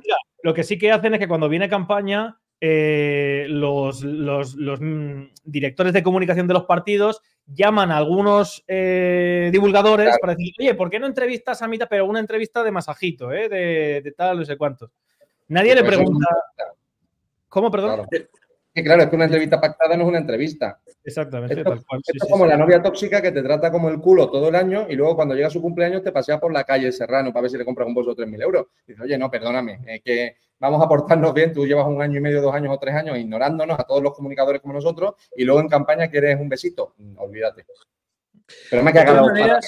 Este, cuidado porque este directo tampoco va a dejar indiferente a nadie, también lo digo, ¿eh? Alvise, te iba a preguntar, ¿quién más te acompaña a las elecciones europeas? Porque me imagino que eso no puedes ir tú solo, tiene que ir una, no sé que es una veintena de personas, tienes que presentar la lista, ¿no? Como mínimo. Mínimo son cinco, persons. Ah, cinco. ya que saca uno ya sería para, para, llamaros a todos e irnos de copa, pero mínimo se, se, requieren cinco. Eh, os voy a decir quiénes no están no están personas que no tengan donde caerse muertas, no están personas que vean la política como un INEM, no hay expolíticos, ni siquiera diputados en activo que me han dicho que iban conmigo porque saben que a la próxima eh, no repiten. Ojo, cuidado, qué suerte, qué bueno que no sea un cabrón y no publique eh, ciertas cosas porque quedan en la esfera de lo privado. Pero vamos, eh, no va a haber ningún político profesional. Por eso, mientras el PP Fijo está pescando en el ala más moderada del PSOE para ganar el voto ese del centro centrado de Ciudadanos, que a mí ahora me da hasta puro nombrarlo, y eso que yo tengo el pasado tan oscuro de haber estado ahí, o, Vox con Santiago Abascal a la cabeza, intentando buscar dentro de los carguitos más a la derecha de lo que es el PP socialdemócrata zurdo de Feijóo, yo estoy intentando captar gente, empresarios de nivel y personas de la sociedad civil que, pueden renunciar a casi 40.000 euros al mes, porque, insisto, yo, yo renuncio al 100% del sueldo y he dicho que me dedico única y exclusivamente el 100% de mis ingresos con mi comunidad. No, pues sí, sí, porque no cobraría nadie, ¿no? No cobraría yo. Eh, en principio, el segundo y el tercero de la lista, que, si consigo terminar de convencerle, tampoco cobrarían. Pero quiero decirte, la decisión de cobrar o no ya dependería de ellos. Yo lo puedo prometer, que es algo además que, hemos visto con, los amigos de las ideas de la libertad, como Nayib Bukele y Javier Milei, eh, que es importante a nivel simbólico que la persona que lidera el proyecto no cobre del dinero público. Ya, no, ya, no, ya, no, yo te lo digo, eso para mí, eh, y lo he dicho también, te, te honra, porque ya no es que sea simbólico, sino que si uno quiere cambiar realmente los resortes de este país, no puede vivir de ellos. Ya no digo de este país, de Europa o de lo que sea. Pero es que eso es lo que da miedo, precisamente claro, eso es lo que da miedo. Claro, claro, eso es independiente. Esa es la ley de hierro de las oligarquías. O sea, tú, no vas nunca, a tú nunca vas a destruir aquello que te da de comer, que es en, es en lo que han caído todos los partidos. Vox, Podemos, todos, absolutamente todos. Entonces, de, eso, yo por ese, por ese lado, pues te aplaudo, eh, Alvisa, y, y en fin, y veremos. Eh, bueno, ya. Es complicado, ¿eh? también os lo digo. O sea, que te vote tanta gente es complicado, pero vamos a intentarlo a por todas. Eh, y también os digo que si lo conseguimos, tenéis una voz en defensa de la libertad de expresión en Europa. Y si tenemos unos buenos resultados, lucharemos también de cara a las generales y espero poder contar con, personas también. te, puedo hacer, ¿Te puedo hacer una pregunta, Alvise? A ver, y, a ver, tus Ahora que no nos oye nadie, puedes preguntar lo que quieras, Rubén. tus, antiguos compañeros digamos, o la gente cercana a ti que pueden estar en Vox o tal, ¿no te ven entonces ahora como una amenaza de cara a las europeas? Bueno, antiguos compañeros en Vox no tengo, tengo quizás una, en fin, algo personal, pero, pero compañeros que nunca he estado, nunca he estado afiliado a, a, Vox y tal, y nunca he trabajado para. Digo, gente, gente, que promueve el voto para Vox, divulgadores o que. Sí, bueno, a ver, yo salí de Ciudadanos muy odiado porque cuando llegué como jefe de gabinete, lo primero que hice fue despedir al 75-80% de todos los técnicos, porque tú imagínate, macho, cuando llego y después de estar tres años y medio esta gente cobrando entre dos y tres mil pavos por ser técnicos del Scorch, no se sabían la normativa más básica y tuve que echarles todos a la calle. Y recuerdo el día siguiente de echarles todos a la puta calle que me llamaran, que me llamaran los responsables de institucionales o los responsables de organización diciendo, oye, puedes echar quien tú quieras al vice, pero este no que es de mi cuota. Yo, ¿por qué? ¿Por qué?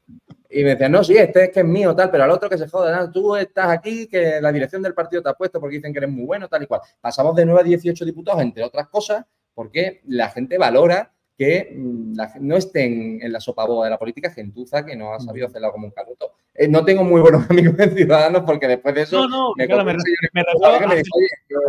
Tú eres muy amigo, yo qué sé, de Dani, que también es... Que, ah, de Dani Esteve, sí. Y Dani Esteve, que es un buen tío, yo, es muy amigo también de Roma Gallardo, que yo soy muy amigo de él.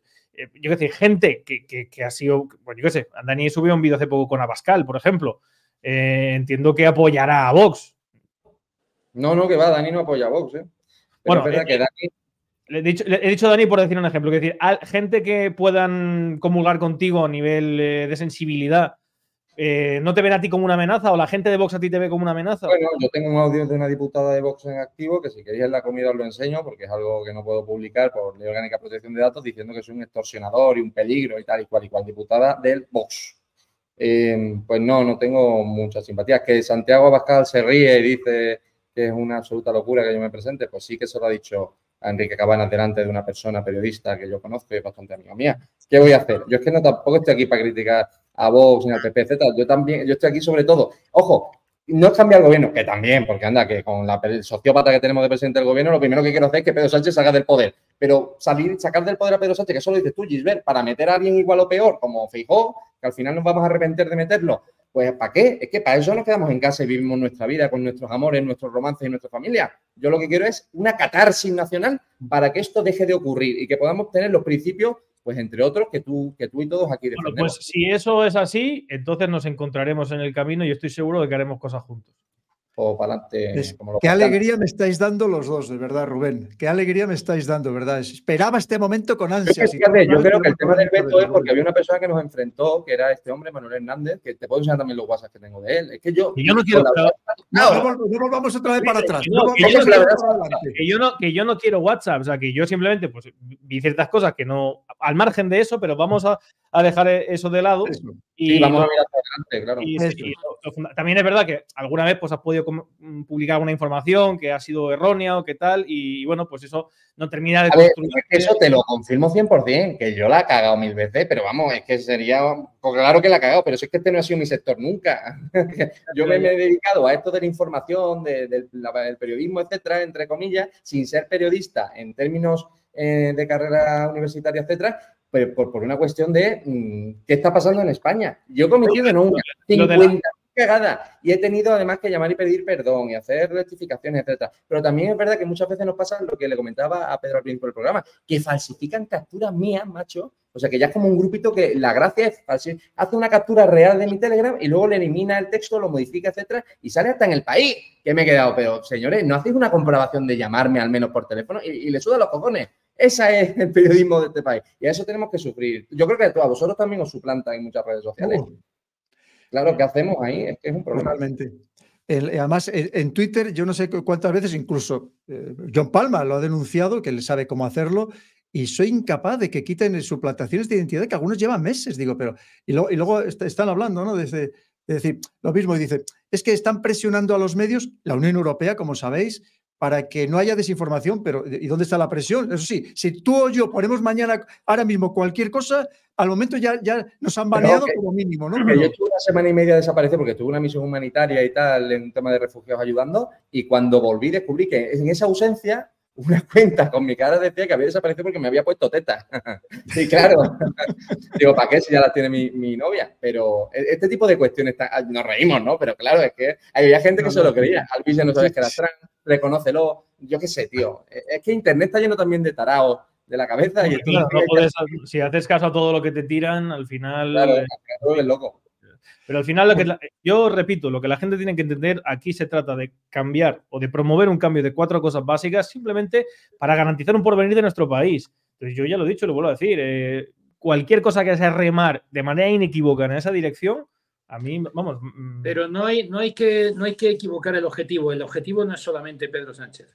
No, no, no. No, no, es que eso es lo evidente. que a, Pedro Sánchez, a Pedro Sánchez, que estaba muerto políticamente, lo han votado unas, eh, eh, unas bases, han votado unas bases y lo resucitaron unas bases como el ave fénix. El problema no se llama Pedro Sánchez Castejón, el problema se llama Ferraz, el problema se llama un partido que ya no es para nada, eh, hace caso a las siglas de ese partido, en absoluto.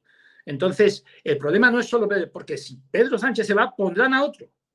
Lo mismo que si se va a iglesias, ponen a otro y tal. No, el problema es de base. O sea, es que el, ya, y, voy más lejos, ni siquiera es PP, porque ya van juntitos de la mano. El que no hay más que oír hablar al señor González Pons. El señor González Pons dice, nosotros en Europa en temas ambientales vamos de la mano del PSOE. Es decir, es que son coincidentes, son convergentes. Es decir, el problema es mayúsculo, no es solamente Pedro Sánchez, es todo un sistema partitocrático, bipartidista, el que hay que tumbar. Es que si tú cambias, el otro día se lo explicaba, lo hablaba con el coronel comiendo, si tú modificas el 68.3, impones el régimen mayoritario en vez del proporcional, el 121 y 122, independencia de los jueces, y suprime la financiación pública de los partidos y sindicatos, España cambia en 24 horas.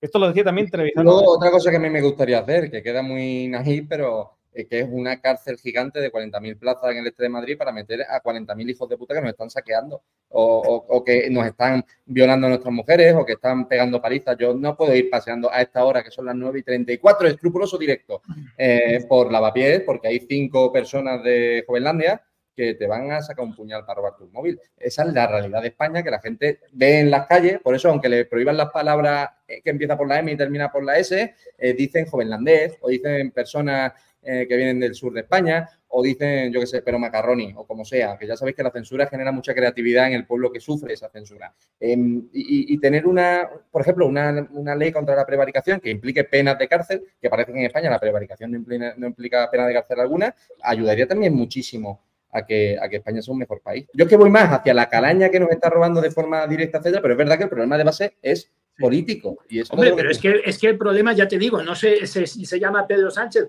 porque es que ocho años ha tenido mayoría absoluta el PP. Pero antes que Pedro Sánchez. y no han modificado ni una sola ley ideológica de Zapatero, ninguna. Ni la de memoria histórica, ni la, ninguna.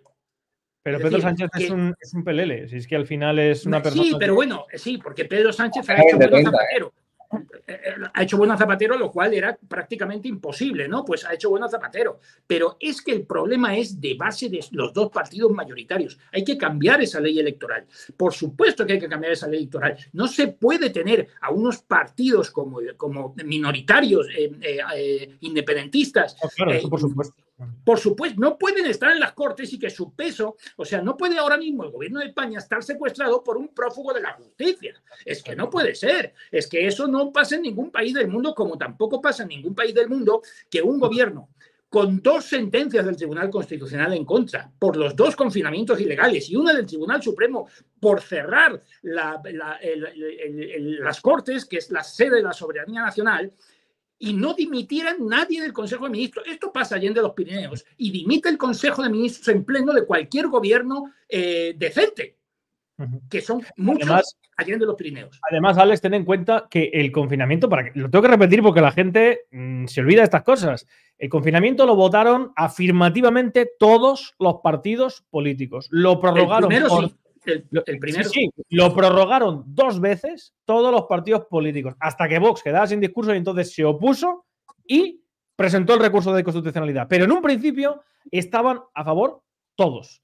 Eso es que, hay que decirlo así. sí, sí, sí, eso es cierto. Eh, ¿qué, me, vas a contar a mí si yo me he obligado a, meterme este, en este, a la fuerza? Porque estábamos hablando de Iker, de Iker eh, Jiménez y a la fuerza Iker tuvo que hacer la estirpe de los libres en YouTube y a la fuerza tuvo que sacar toda aquella serie de programas sobre el virus, el laboratorio y no sé qué. Y yo tuve que presentarle, porque me las pidió Iker, unas claves sobre animales infecciosos y a la fuerza me tuve que meter yo a bucear, claro, no en los medios españoles, sino en páginas chinas y en el Internet profundo, etcétera, etcétera. Y me tuve que meter ahí para sacar la información que es cuando se desveló que aquel mercado húmedo no era ilegal, tenía todos los papeles en regla, había pasado la inspección hacía dos meses y no se vendía un, solo pangolín y por supuesto ningún murciélago, porque el murciélago es animal de la suerte en China, entre otras cosas. Entonces, eh, todo eso se lo tuve que dar ahí, que yo a la fuerza me tuve que meter en esto y eso luego generó un artículo de bastante difusión que acabó en un libro que fue el primero que se hizo sobre los tres que hubo de la pandemia. El primero fue el mío. Eh, libro boicoteado, por cierto, por, por, todos los medios que no quisieron hacerse eco de él porque es muy, es muy calentito. Entonces yo a la fuerza me tuve que meter en eso a la fuerza, porque yo soy naturalista, yo me dedico a otras cosas y a la fuerza me tuve que meter en el, en el, lodazal de estos partidos y es cuando realmente me di cuenta de que ese confinamiento era ilegal. No solamente era ilegal, sino que si no nos hubieran confinado, no se hubiera enfermado tanta gente. Porque claro, un bicho aéreo, evidentemente... Nos cierran el canal, Alex, nos cierran el canal. Mira, antes de que se, de que se vaya al vice, pues sabes que el otro día, precisamente, hablando tú de lo que has apuntado, lo que has abierto eh, la brecha de la inseguridad, el otro día tuvimos aquí en el canal a un abogado penalista que se pasa todos los días en Plaza de Castilla y nos contaba cómo se habían triplicado los, todos los incidentes de seguridad, llamémoslo así, en muy poco tiempo, en dos, tres años. Pero no solamente eso, sino que lo que no pasaba nunca, con machetes, con fusiles de asalto, lo que nunca había habido en España y queremos hacer, quiero hacer un programa con Samuel, que se me ha ofrecido, el que todos conocéis, el policía, que nos cuente, que nos dé datos exactos sobre todo esto que está sucediendo, que evidentemente nos afecta también a todos. Pues mirad, si queréis vamos a recapitular un poco, vamos al, origen, porque sé que Albi se tiene prisa. Además, tampoco quiero entretener a nuestra audiencia, porque quiero que cenen, se sienten en el sofá, y encienda la televisión, la 4, para ver Horizonte, que por cierto, me ha insistido Iker que Rubén lo ha hecho genial. Así que tenemos que ver el programa. También Albertini me ha dicho que ha hecho un programa fantástico. Tenemos que ver todo su horizonte. Pues mirar, vamos a recapitular un poco. Una vez más, hemos hablado de lo que le ha pasado al Vice, de lo que le ha pasado a Iker, pero recordar, queridos amigos, esto nos puede pasar a cualquiera de nosotros en cualquier momento. Y es más, nos va a pasar que lo sepamos. Y por eso tenemos que estar unidos todos los españoles, todos los ciudadanos, frente a estos poderes de todo tipo y de toda naturaleza, que es lo que hemos intentado contaros un poco aquí y sobre todo exponeros también las ideas de jóvenes como Rubén, como Alvise, que veis que al final coincidían. Yo tenía algo de razón, mucho más de lo que ellos mismos esperaban y, creo que eso es la idea, porque ya Alex tiene ya unos, unos pocos años más, yo tengo mucho más que todos ellos, pero creo que es el momento de todos hacer fuerza para que este país que se nos está hundiendo, volver a recuperar, que es un gran país, que somos una gran ciudadanía y por tanto tenemos no solamente el derecho, sino la obligación de entre todos de sacarlo adelante. Y tienen que ser, sobre todo, los jóvenes, con la ayuda de la experiencia de los más veteranos, pero el impulso, la fuerza, tiene que venir de los más jóvenes. Así que si queréis, no sé si tienes ya eh, prisa, Luis, y si no, pues damos paso a los comentarios y si te quieres ir ya, pues si tienes prisa, pues dejamos aquí ya. No, lo digo porque, pero sí, me puedo quedar 15 minutos y ya. Venga, pues, pues, vamos a dar paso a los comentarios, que hay muchísimos. Bueno, pues mira, bueno, Esterlina, que sí nos da una pequeña ayuda. El Ismael nos dice, ¿grabaría este programa? Igual hay que subirlo por ahí. Sí, mira, afortunadamente, yo ahora inmediatamente, como lo hago a través de Stranger, queda grabado. Lo voy a grabar para que no me pase como el último, que el, de cambio climático, casi no tenía que haber mencionado la palabra que solo lo puedo grabar en, el algoritmo, el algoritmo. en audio, pero este lo, voy a grabar en vídeo y en audio por si acaso, y ya lo subiríamos a donde fuera, donde fuera preciso. Muchas gracias por el consejo. El Michael eh, Chat que nos dice, Alex Lachheim, auténtico, inteligente y fortísimo. Lo has definido perfectamente. Como decía, un amigo leal, una persona honrada, una persona transparente y por eso Iker le dice que es de las pocas personas en que las de, verdad le confiaría su vida. Y que nos conecta desde República Dominicana, ¿no, Alex? Porque ese fondo... no, no, que va, es el salón de mi casa. Ah, coño. Sí. Yo, vivo, en el monte, pero aquí en España, en Guadalajara. Ole, ole, que te he visto tan étnico ahí el fondo, me ha encantado. Es precioso el fondo. Mira, nos dice nuestra buena amiga Fortuna Isabel, sanidad en Dinamarca me ignora por no... En fin, y soy un cero a la izquierda. Con la audiencia y credibilidad de Iker, ir contracorriente trae consecuencias. Un aplauso para Iker. Pues efectivamente, le damos todos un fortísimo aplauso a Iker, que de verdad que se lo merece, y más en estos momentos que necesita también el apoyo moral de todos nosotros. Juan Omeigo nos dice, gracias por velar por la libertad de expresión desde este canal. Viva España, por supuesto, siempre viva España. Pues eso intentamos, Juan, por encima de todo, la libertad de información, de expresión y de pensamiento. Solo faltaría. MJ Ramírez nos dice, todos por la libertad de expresión. En esa línea estamos, efectivamente. El Javi LG nos dice, la unión es el camino. Pues mira, hoy hemos conseguido un acercamiento que había quien nos decía que era absolutamente imposible entre Rubén y Alvise. Y esperemos que sea buena, unión. acción del día, Pedro, tu buena acción del día. Sí, y que fructifique. Yo era, mira, era una cosa que tenía, me hacía mucho tiempo ganas de verdad de que esto se produjera y no sabéis la alegría inmensa que me estáis dando. Que la gente que diga, no, que queremos verlos discutir, sí, vamos a discutir, si otra cosa no, pero Rubén y yo discutir sabemos. que, al final, al final es eso, es ver qué ideas tienen sus la realidad. Y... y... aportar. Mira, pues Marcelo, que también nos da una ayudita y todo es bienvenido. Lo mismo exactamente igual que Carolina. Y nos dice aquí Jesús Inglés. Creemos en vosotros, os necesitamos. Soy padre y quiero un futuro mejor para mi hija. Por favor, y lo pone con mayúsculas, Rubén y Alvise, encontrar el camino para uniros. El pueblo os necesita unidos. Tenéis todo nuestro apoyo. Pues efectivamente, Jesús, mira, pues yo creo que algo hemos conseguido un paso muy, muy importante esta noche y esperemos que sea solamente el principio de una unión todavía mucho más sólida. Esto es mejor que First Days, ¿eh? Sí. pues mira, efectivamente. Ya sabéis que, mira, el, con buena voluntad, todo puede hablar. Y, yo siempre he tendido la mano a, Luis, y lo que es que sabéis que a veces, pues mira, pasan estas cosas. Sin embargo, no os preocupéis, que hablaremos, haremos cosas juntos, eh, debatiremos, eh, haremos lo que sea necesario.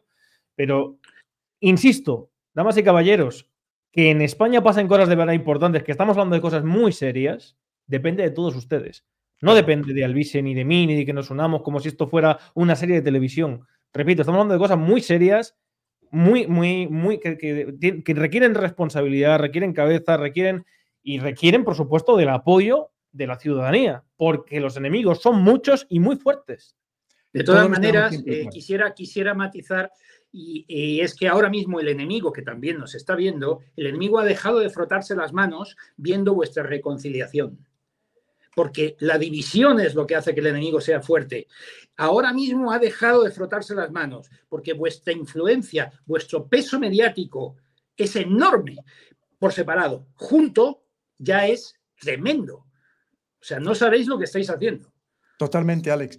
Eh, los ataques se van a, a recrudecer, no tengamos ninguna duda. Es que si ahora mismo Iker consiguiera llevar a dos o tres programas seguidos a Horizonte, al Vice y a Rubén, revienta la primero revienta la audiencia, no tengáis ninguna duda, y luego les, termina de lanzar. Y lo que te he dicho, Alvise, vamos, saca el mayor número de votos de toda España como eurodiputado. Yo no tengo ni la menor duda. ni los, dueños, de Mediaset son íntimos amigos del señor Cregueres. El señor Cregueres es uno de los tipos más poderosos de A3 Media, consejero delegado. Eh, yo al señor Cregueres he publicado una serie de audios que han hecho que eh, la Fiscalía Anticorrupción facilitara su imputación en la Audiencia Nacional. Eh, en A3 Media no voy a aparecer. Y, insisto, les veo cenar de vez en cuando en, Arde, en el restaurante de Madrid. Em, evidentemente es muy difícil que yo pueda aparecer en, Mediaset, pese a lo que desee Iker, porque la censura de Mediaset es bastante jodida. Bueno, oye, si hemos conseguido este acercamiento entre vosotros aquí esta noche, podemos conseguir muchas cosas.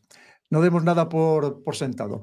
Pues mirar, Frankfurt nos dice, la emoción de ver por fin a Rubén y Alvise en un directo, dejando las diferencias de lado y remando por el bien común, es absolutamente indescriptible. No podría estar más de acuerdo. ¿Os dais cuenta que lo que yo estoy diciendo no es mi pensamiento individual, Rubén y Alvise, y Alvise y Rubén? Es el pensamiento de muchísimas personas que, aunque no os lo creéis, estaban deseando que llegara este momento. Si supieras cuántas personas me, me decían, Pedro, usted que conoce qué tal, que no sé qué, que tiene mano, por favor, mira a ver si lo consigue, que es una pena que estén enfrentados, que se digan estas cosas, que, que tenemos el momento de hacer cosas juntos. Pero Pedro, es verdad que, dice que, a España le gusta el melodrama y es verdad que esto no depende ni de Gisbert ni de mí, que, al final esto depende de toda la sociedad española y que se despiden de una vez y se sumen. Eso de vamos a apoyar a Gisbert o vamos a apoyar al vice, está cojonudo, de verdad, lo agradecemos mucho los dos seguros, pero es que al final o lo hacemos masivamente o por mucho que Rubén y yo nos descubramos homosexuales y nos casemos, eh, es imposible que esto, que esto fructifique, ¿sabes? Así que a ver si entre todos podemos sumarnos y crear algo juntos. Sí, la, gente, tiene que tener también en cuenta que esto no se trata de ir un día y poner un papel de una urna, se trata de hacer fuerza todos y cada uno de los días. Porque si el Alvise Pérez se está jugando el tipo y, yo y tal en, los tribunales, pues eso requiere que la gente también tenga un empuje, tenga un compromiso todos los días Oiga, pues eh, en redes sociales, pero también en las tertulias, yendo a actos, es decir, hace falta construir esa unidad desde la propia gente. La gente se tiene que mover, eso está claro. Si no, pues en fin, Agustina de Aragón ya sabéis todo lo que le pasó. Pues así es. Mira, nos dice aquí Luis Gece, luchemos todos juntos por la libertad unidos, por el VDD, que es, eh, decirme que es, que yo con estas, estas conocimiento, el amor, la transparencia. Gracias por vuestra guía y fuerza. Con vosotros hasta el final. Pues muchísimas gracias, querido Luis. Las gallegas nos dicen, oye, un abrazo para las gallegas. Plataforma Odisee, libre y descentralizada frente a, censuras. Podéis asociar el canal de YouTube para replicar los contenidos y protegerlo frente a, cierres. Pues sí, ya me lo recomendaron el otro día y que lo tengo ahí, lo tengo pendiente, abrirme una cuenta para poderlo replicar. Pues muchísimas gracias. Agustín López. Alvise, el Parlamento Europeo no decide nada. Las decisiones las toma la Comisión, que no elige nadie. ¿Crees que tu iniciativa va a tener algún impacto? Dentro, desde dentro del régimen no se cambiará nada. Pues mira, no le falta razón lo único que cambia el mundo es la política. Igual que el señor Trump no daba miedo siendo un multimillonario, empezó a dar miedo cuando se metió en política. Es la política la generadora de cambios. Eh, obviamente yo no voy a tener control ni poder alguno sobre la Unión Europea, pero sí voy a poder tener la inmunidad diplomática y, jurídica que me da el aforamiento y además voy a tener un altavoz internacional para poder defender, por ejemplo, em, la libertad de expresión frente a la censura que se hace de todos los que están aquí. O voy a poder, por ejemplo, lavar las vergüenzas a, todos los partidos españoles que están diciendo una cosa en España, mientras luego vemos lo que están votando en la Unión Europea, que es criminal. Y eso, obviamente, nos ayuda muchísimo también para conformar un gran lobby en España, tener ese altavoz. Tienes razón y además, lamentablemente, esta persona también tenía razón, que lo triste es que los que de verdad están rigiendo los destinos de Europa no les hemos elegido ninguno de los ciudadanos. Es decir, que si ya de por sí nuestro voto vemos que vale poco, es que aquí ni, siquiera votamos. Y son los que de verdad están decidiendo el destino de toda Europa. es que se necesita un cambio a fondo absolutamente Agustín, todo. Agustín López, que es un gran, eh, que de hecho eh, él estaba en la fundación de don Antonio García Trevijano y es un gran amigo y en fin, es una persona muy instruida también en película, en, política. Yo entiendo muy bien lo que está diciendo y desde luego, eh, bueno, mm, Alvise Pérez quiere intentar este camino reformista. Bueno, yo me, parece bien. Pero es que eso no significa que la gente que tiene que hacer fuerza desde la sociedad civil y intentar promover una ruptura desde la sociedad civil tenga que dejar de hacerlo. O sea, es que eh, son dos esfuerzos complementarios que al final, pues, buscan. Tenemos que ver, ¿no? Tenemos que ver qué es lo que buscan, pero. La, eh, lucha, la lucha está en tres, en tres patas fundamentales. Una, por supuesto, es la calle, las manifestaciones de la sociedad civil. Otra es eh, la política, es decir, lo que va a hacer Alvise me parece el camino perfecto pero no olvidemos que la mayor lucha es en los medios de comunicación y tenemos que intentar por todos los medios, tenemos que meter las picas de Flandes suficientes en los medios de comunicación para que el mensaje llegue.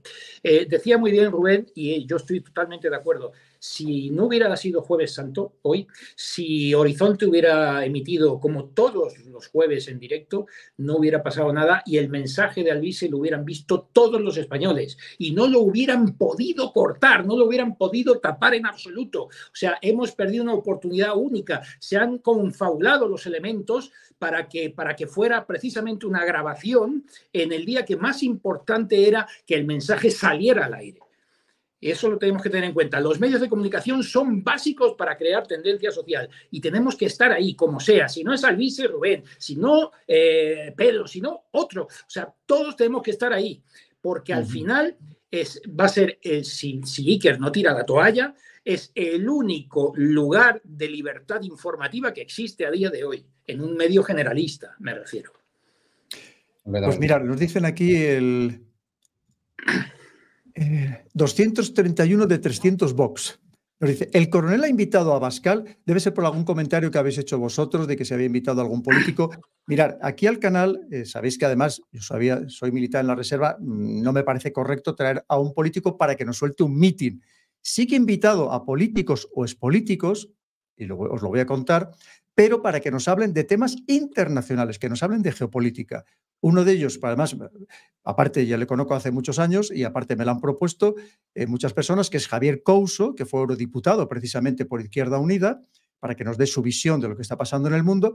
Y el otro, que a alguno le va a sorprender, es a Pablo Iglesias, que me ha dicho que no me. Eh, Javier Couso me lo ha confirmado, Pablo Iglesias me ha dicho que se lo pensaría, pero que probablemente vendría al canal, pero solo para hablar de, de temas internacionales, de geopolítica, no, para, no que nos suelten un mitin político. Porque hay que oír a todo el mundo. O sea, ya sabéis que a mí me gusta oír a todo el mundo. Yo he de decir, perdóname brevemente viendo los comentarios, eh, que quien piense que yo soy un político que no me vote, porque no quiero su voto. Eh, que yo no voy a entrar en este juego de la política para ser un político. Yo soy una persona que se dedica básicamente a hacer la vida imposible, a convertir la vida en un infierno de gente que se lo merece. lo llaman unos justicieros, etcétera. Bueno, pues cuando un país necesita justicieros o personas que expliquen que esto no es una democracia, como todos los que estamos hoy aquí, pues yo lo hago la más de orgulloso con la responsabilidad que me da lo que hago. Pero no soy un político, soy una persona que va a ir a estos sitios a protegerme a mí mismo de forma egoísta para poder utilizar eh, todos mis canales para poder seguir, seguir haciendo daño. Y ojo, cuando tú estás en, en una posición de política de poder para decirle las vergüenzas muy duras de todo tipo a personas que nos han saqueado, que nos han robado, etcétera, eh, eso sí da miedo, porque ya no solamente en redes sociales, en redes sociales y en el atril. Yo te, debo decir, Alvise, que a mí me, me, agrada que hagas el ejercicio de, explicar de manera muy honesta y muy transparente tu objetivo a la hora de presentarte. Es decir, eso dice mucho de ti, la verdad. Estamos de acuerdo, es que, no quiero engañar a nadie. que yo, vas a terminar vestido y todo, que yo yo soy una persona más práctica. Oye, has violado a un bebé de 22 meses, voy a joderte la vida y voy a hablar con los familiares de la prisión donde estás para que no puedas salir del aislamiento. ¿Qué es lo que ha pasado con el violador de un bebé de 22 meses que me, está intentando imputar un delito? Que os, que os jodan, violadores y pederastas. Que os jodan. Y lo mismo lo digo, perdonadme, con toda esta panda de gente. No tengo ni miedo a ir contra esta gente. el problema ahí también es que hay que cercionarse muy, muy bien eh, de que eso ha pasado. Sí, bueno, también hay gente que me han dicho que he atacado siendo inocente, etcétera, que, no es verdad. Me ha dicho mi abogado que no hable de esto públicamente, pero bueno, el juicio lo ganaré como gano el 100% de ellos. Pero también os digo que, el, tema del, violador es igual que el tema del magrebí que ha violado a una niña de 14 años, al que le piden menos pena que a Rubiales por el beso de, Jenny Hermoso. que esto es la leche. Eh, yo entiendo a todo el mundo que me pueda criticar porque yo respeto y estoy de acuerdo con la gente que me dice, pero aviso, ¿tú quién cojones te crees que eres? ¿De qué vas, chaval? Aquí con 34 años este sevillano que viene aquí a impartir justicia cuando tenemos leyes. Pues yo digo, tenéis toda la razón. ¿De qué cojones voy yo dedicándome lo desde que me dedico? ¿Por qué lo hago? Y más allá de eso, ¿por qué no leen casi 5 millones de personas al día? ¿Y por qué tengo casi 2 millones de seguidores? Si lo que estoy haciendo es moralmente negativo, que soy un mal menor, joder, porque yo no tendría que existir en, una, un sistema democrático que funcionara como, como como Pedro y como tú, Alex, defendéis. Yo no debería de existir. Y si estoy existiendo y estoy teniendo este éxito, entre otras cosas, porque el sistema no funciona no funciona y no nos da justicia. Y la gente, cuando ve que un magrebí viola a una niña de 14 años, el padre no llama a la Policía Nacional. Me manda a mí eh, la información y hace que yo le localice. Esa es la realidad. No me voy a esconder ni voy a mentir a nadie. Os lo digo de corazón. ¿Es un error que yo hago esto? Sí, porque lo tendría que hacer el Estado. ¿El Estado no lo hace? No. Y por lo tanto, hasta un Estado criminal que no nos protege, nosotros como sociedad civil lo vamos a hacer. ¿Tienes 34? ¿Eres del 90? Soy del 90, febrero, Piscis. si hay aquí alguien que... no, yo soy del 90 también. Otra cosa en común, Rubén, si después de esto no tenemos una cita a la luz de la vida. termináis, vamos, salís pareja de aquí, de hecho, seguro, vamos. bueno, yo tengo novia y... Pensaba que, eras un, pensaba que eras un poquito más joven, ¿verdad? Porque como yo ya he peinado alguna cana y tú no El otro día mi madre me dijo que de los cuatro hermanos que somos soy el que más está envejeciendo. Aunque me dice, lo entiendo, hijo, el estrés que lleva. tal cual, tal cual, exactamente, eso es. Bueno, pues Paco también que nos echa una manilla, cantado. Mira, MJ Ramírez, programa histórico. La unión hace la fuerza. Vamos, pues efectivamente. Esto va a ser, ya te digo, histórico totalmente. Lo estamos viviendo, estamos viviendo historia. Fijaros, a que este acercamiento entre, entre Alvise y Rubén, de verdad, que es, satisfactorio para España. Para España, es, un éxito para España. Y un privilegio para mí que el día de mañana diré como Homer Simpson, yo estuve ahí. te, quiero pedir, te quiero pedir perdón, Alex, porque este era tu directo con el coronel y Alvise y yo te lo hemos jodido. No. nos han invitado, pero, pero bueno. No conoces, no conoces a Alex todavía, Rubén. No hay persona más generosa que Alex. Mira, mira qué cara de felicidad tiene. Si fuera otro, efectivamente, estaría enfurruñado. Vamos, con Alex no tienes ningún problema, jamás lo vas a tener. Es que a Alex hay que conocerle. Porque Alex, si, si estuviera enfadado, esa cara no la pondría. Porque lo que te he dicho es totalmente transparente. Sería incapaz de estar fingiendo. Le conozco muy bien. Así que eh, lo único que tienes que tener cuidado es una cosa. Cuando te dé un abrazo, porque te puede aplastar. O sea, porque el suyo es de abrazo de oso de verdad. Pero de, oso aquí de ibérico, de los, picos de Europa. Bueno, mira, el Vanessa Porres nos dice, qué gustazo ver juntos a Rubén y Alvise. La unión hace la fuerza. Gracias, Cornel. Os lo digo, esto va a ser una constante. No sabéis el paso que hemos dado hoy esta noche, no lo conocéis. Pero sin, olvidar la, diferencia, Rubén tiene el flequillo a la izquierda y yo a la derecha. no, no, no, no, no, o, no, no lo sé, es que no, me Mira, Paco Padilla nos pregunta por el expediente Royuela. Esto me lo pregunta muchas veces y sinceramente es algo, un tema que nunca he abordado.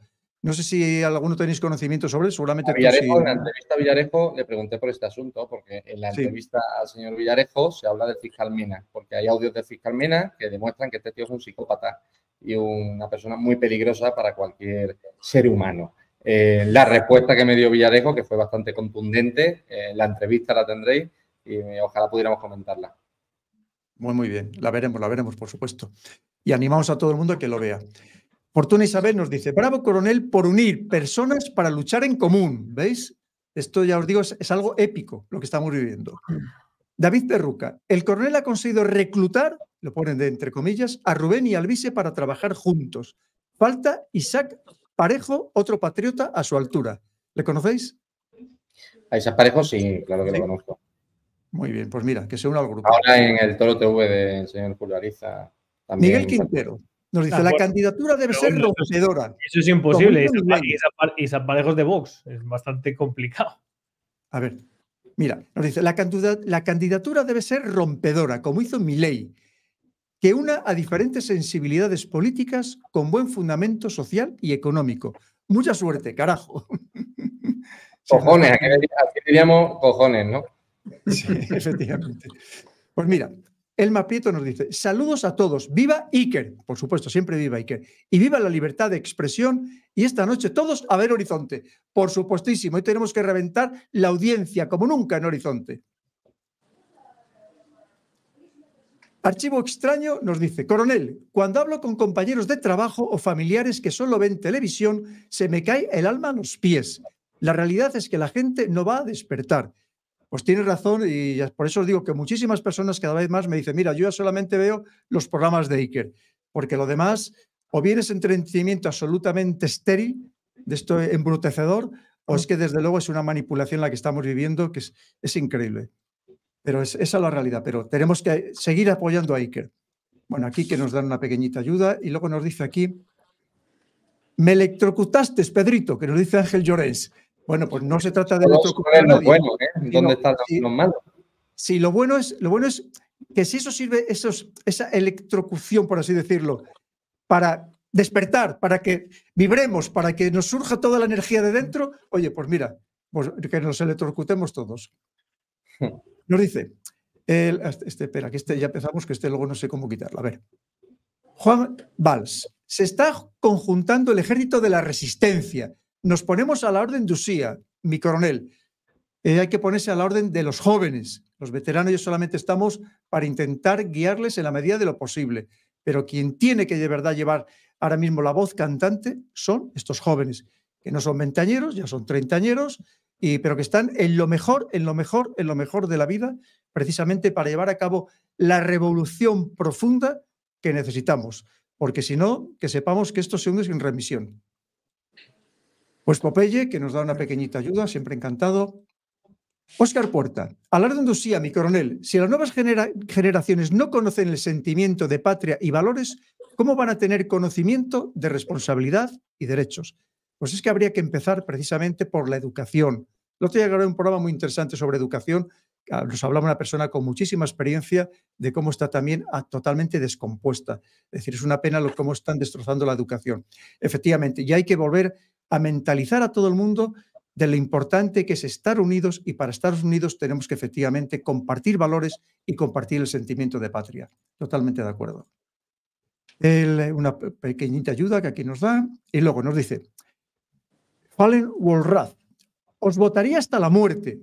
Gracias infinitas por este dinero de este directo tan importante. La situación es urgente. La unión hace la fuerza. Ya veis que os están animando, de verdad. Es que, es que tenéis que hacerlo, tenéis que salir adelante, tenéis que sacarnos adelante los jóvenes como sea. Gracias por vuestro esfuerzo y trabajo. Seguir así, por favor. Pues ya ves que os animan por todos los lados. Javier García, necesitamos a toda España unida. Vamos, Ahí dice una palabrota que ya sabes que yo no las digo nunca, pero... pues lo siento porque yo hoy he dicho alguna. No, no, no, yo respeto a todo el mundo. Yo tampoco fumo y aquí mi, querido amigo Alex ha estado con, siempre con la pipa en la mano, así que... Sí, pero está vacía de tabaco.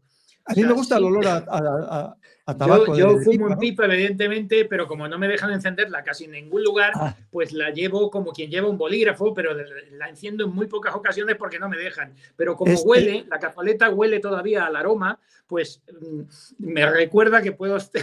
y esta, imagen de marca, pero aquí ya sabéis que el otro día hubo una persona fumando en pipa, otro día Soto Ibar fumando un pitillo, ya sabéis que yo, por mi parte, siempre libertad absoluta. De todas maneras, en las redes, en YouTube, en Twitch y tal, sabes que yo también tengo un, canal, eh, miran mucho estas cosas. Nosotros, que somos tres en el canal, los lunes estamos en la barra de un bar bebiendo vino y tenemos que decir que es mosto. Ah, pues yo, pues, yo, llevo tres años en redes sociales y me aprieto unos purazos en cada directo que, ¿Ah, nunca hay ningún. El coronel lo sufre también cuando quedamos para comer. Pues a nosotros, yo no sé si es, nos han avisado, ¿eh? nos han avisado que iban detrás nuestra, eh, es el Bunker Bar, nuestro canal, y porque se hace en la barra de un bar bajo tierra. Y nos han dicho, ojo con lo que bebéis, que os tumban el programa. Y de hecho hay programas que nos han tumbado. Eh, es complicado, es complicado. Por eso que la pipa es solo una marca, como dice Pedro. no. Si decís que estáis viviendo Boston y media hora más tarde empezáis a cantar Asturias Patria Querida, hombre, a lo mejor es que no cuela, Alex, ¿no? bueno, vamos allá. Antonio Flores, muy buen amigo Antonio Flores. es que no paran de entrar más superchats, entonces esto va a ser perpetuo, pues hay que poner una, línea. Pues bueno, vamos a intentar ir rápido. Venga, Antonio Flores, que nos dice, el que sabéis que ha estado aquí en el canal, un grandísimo experto en inteligencia artificial, que nos dice, vamos hacia un mundo hiperconectado por la inteligencia artificial. Mientras tanto, la censura tradicional, y pone entre comillas, sigue funcionando. Enhorabuena a los cuatro por el excelente programa y mucho ánimo para Iker y Carmen. Muchísimas gracias a ti, Antonio. El José Carlos Vaquero, unidos jamás seremos vencidos por nuestro futuro. Eso es lo que tenemos que pensar todos. De Margen nos dice, ¿cómo podremos votar al vice en las europeas? Mira, muy buena pregunta. Venga. Pues en el registro de las europeas, si eres un español residente en el extranjero, pero bueno, esto más que yo lo explica perfectamente Google, si ponéis cómo votar en las elecciones europeas voy a tener suerte. Pero básicamente tienes que ser nacionalizado español eh, y obviamente tener el, derecho a, votar de forma activa. Bastante sencillo. Ojo, al final es posible que necesitemos más de 300.000 votos. Es muy complicado. ¿Ah, sí? Es muy complicado. También depende del porcentaje de participación, etcétera. Y yo hay algo que no hago, que es pues ir en coalición con ciertas organizaciones de políticos profesionales, por así decirlo, que me han llamado y que han intentado que, pues eso, que vayamos en coalición a cambio de sumas de dinero, a cambio de ciertas ideas. Y, yo, pues obviamente, mm, si voy a, luchar, pues prefiero luchar sin tener las limitaciones. Con las manos libres, con las manos libres. Sí. Y Luis, ¿tú te, unirías con, yo no lo he sido nunca, ¿eh? pero con comunistas? Sí, por eso te refieres a Roberto Vaquero. Obviamente no podría. No, bueno, no sé si, está condenado por, organización criminal o no, pero creo que sí, ¿no? creo que no. creo que no, creo que le, exoneraron finalmente. Bueno, lo que sé, porque, es además de mi tierra y tal, yo soy sevillano, y, obviamente su histórico político son organizaciones comunistas extremadamente, eh, pues eso, vamos a dejarles en directas, radicales sin ningún tipo de duda, más radicales que Pablo Iglesias Turión. Y, y, es verdad que estoy muy de acuerdo con él en muchas críticas que hace, especialmente en temas migratorios, pero es que yo ya viví. Alternativa que promueve, digamos, no. no, Partimos de dos polos opuestos. Yo defiendo la libertad y él defiende un Estado grande. Y eso, obviamente, pues no puedo. pero si, si, él llegara a aceptar eh, porque unos mínimos que, que garantizaran el libre ejercicio de la política de cualquier ideología dentro de unos cánones pues tendríamos que ver el programa, pero claro, también implica... Yo no tengo, nada con Roberto. Es muy ¿eh? importante, el tío, el, recorrido y el currículum vital ideológico que tiene. Yo qué cojones hago en la misma candidatura que un comunista. Ojo, y estoy muy, muy de acuerdo con él en muchas cuestiones, me encantaría debatir con él en muchas cuestiones de, índole cultural. Él también critica mucho el movimiento woke, critica muchísimo la inmigración, pero joder, es un abierto comunista. ¿Qué cojones hago yo con eh, los apóstoles de la muerte, de la miseria, que solo producen pobreza, prostitutas y viudas. Pues no tengo nada Habrá gente que tenga sensibilidad y ideológica. Millones de muertos en todo el mundo. Pero habrá gente que tenga sensibilidad ideológica comunista y que no abogue por esa aplicación del comunismo estatalista. y hay gente que utiliza el tema que nos, que nos genera comprensión a todos, como la inmigración, para intentar colar su ideario político, que es comunismo. Y yo por ahí no paso porque hasta el día de hoy gilipollas no me considero. Pero vamos, que lo hablaría, con él encantado, porque en el tema de la inmigración estamos de acuerdo. Pero cuando, por ejemplo, dice que los medios de comunicación privados no deberían de existir, pues joder, es que eso apesta. eso apesta a Pablo Iglesias Turrión. Yo con un tío que dice que los medios de comunicación privados no deben existir y que todo debe ser público, controlado por el Estado, pues no tengo nada que decir y obviamente no voy a ir con él ni a comprar pan. Ya, ya a una confluencia de diferentes sensibilidades hacia una reforma que después... En decir que los magrebíes nos violan, pues claro... Vaya tema que se abierto. claro. No, pero es, muy importante si se, si se plantea una, una, reforma institucional, que repito, estamos hablando de algo muy serio, que el ejercicio a posteriori se puede hacer libremente por cualquier ideología, como era la Junta Democrática original, donde estaban unidos los, los, los del Opus Dei, estaba Rafael Calvo Serer y Santiago Carrillo. Por eso, yo, por eso, yo hago esas preguntas. no las hago... a mí me yo, creo, yo creo que Alice Pérez tiene que ir con las dos manos libres. Pero es verdad, chicos, que aparte de lo que se diga en un programa, que el programa al final es como los culos, que todo el mundo tiene uno, eh, aparte de eso, tenemos que ver qué, defiende a nivel personal cada uno. Claro, si a mí me dice, si a mí me viene un, un tío que defiende, yo qué sé, eh, el Islam y que se aplique la Sharia en España y que quiere que las mujeres tengan menos valor que los perros, pues dice, pero yo prometo que la inmigración y tal y tal y tal, no sé qué, voy a estar de acuerdo contigo. Pues no me vales, colega, porque eres un, teocrático. Totalmente de acuerdo. Pero me encantaría hablar con él. enemigo ni agua. me encantaría hablar con él y compartir ideas. A mí me encanta charlar. Venga, pues seguimos. Pues Javi PM nos dice, a sus órdenes, mi coronel, por favor, Rubén y Alvise, uniros discutir discrepancias, pero luchar por España y la hispanidad. Todo el pueblo os apoyará, no lo dudéis, pues ya ves que os están animando por todos los lados constantemente. Carlos Arias Laurel, mucha fuerza y energía os va a hacer falta. Pues muchas gracias. Miguel Ángel Villafranca, gracias por el programa. El yugo es la Constitución y la adhesión a la de la Comunidad Europea. Los partidos del 78 son los mayores enemigos del país. Ahí creo que tanto los creo que tanto Alex como Rubén como Alvis están totalmente de acuerdo. El Javier 15. Llevo siguiendo a Rubén y Alvise mucho en sus redes sociales. Sus diferencias se pueden superar y estoy encantado de verlos juntos. Nos están abriendo los ojos al pueblo de una manera brutal. Gracias.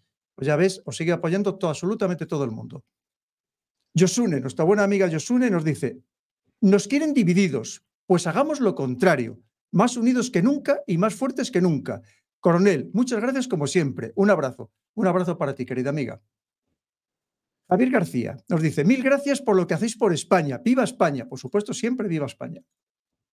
Olmo Blanco, no entréis en temas morales, aborto, LGTB, pues dan rédito al gobierno. Tirad por la rama antisistema y antipolíticos. Tenéis mi voto. Creo que también estáis de acuerdo. eso, es algo, clave. Eh, no sé si eso es muy importante. Claro, yo, yo creo que la política también es defender baluartes morales.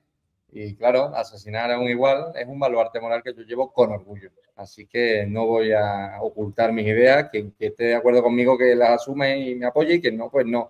Pero obviamente considero ciertas cosas como asesinato y las voy a defender orgulloso y voy a hacer guerra cultural para defenderlas. Porque no me interesa esconder mis ideas para obtener rédito político. Oye, si no te gusta lo que defiendo, pues no. Pero, me refiero que una cosa es defender tus ideas. Entiendo lo que dices y me parece totalmente loable, pero eh, otra cosa es el marco en el que defender las ideas. El problema es que el marco que tenemos aquí impide defender las ideas. Entonces, yo por eso digo que yo, la lucha que yo tengo no es una lucha moral, es una lucha, de es una lucha institucional, de ejercicio de la libertad. Yo, si hubiera un régimen político en España democrático, me da igual que estés tú, que esté Roberto Vaguero, que que esté quien sea, porque esos resortes evitan que vosotros podáis llevar vuestra moralidad a vulnerar los derechos de los ciudadanos. Te lo digo porque hay mucha gente que me dice, Alvise, no te beneficia nada irte frente a una clínica abortistas a, ponerte de rodillas delante de cientos de seguidores tuyos porque detuvo la Policía Nacional a una mujer que rezaba. Y digo, bueno, pues que si la mujer reza, yo voy a ir allí y me voy a poner de rodillas frente a la Policía Nacional que me amenazó con detenerme. Le dije, no tiene usted cojones, jefe operativo de, vamos, de, detenerme a mí a 100 personas más. No tienen cojones ni tienen efectivo. Y así fue. Eh, no voy a ocultar mis ideas por este No, no, eso no, eso no y, que pues, guste, pues, muy bien.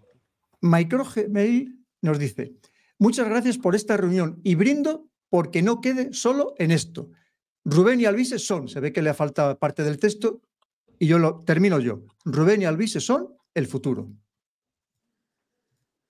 El, Vicky Salazar, lo mismo, ¿Cómo nos engaña Rubén? ¿Cómo nos engaña Pedro? Eh? Dice, ahora los comentarios. Dos horas de... No, no, pero es que, es que eh, había, había 18 y no como, de, está leyendo la gente están De todas maneras, tengo que, decir, tengo que decir que los comentarios a Pedro se le van a acabar exactamente a las 11 menos cuarto, cuando empiece Horizonte. No, no, todos tendremos que estar frente a la tele viendo intento, Horizonte. Intento ir rápido, intento rápido. Mira, no solamente Horizonte, no solamente Horizonte, sino también el domingo, cuarto milenio a las nueve y media, que por cierto lo abro yo.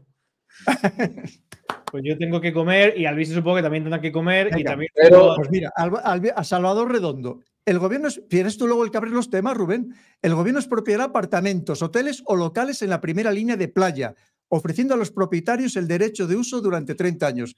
Pues si hablamos del otro día de economía de guerra, ¿verdad? Así que cualquier cosa nos puede pasar. Alba Sánchez, utilizad streaming en la blockchain sin censura.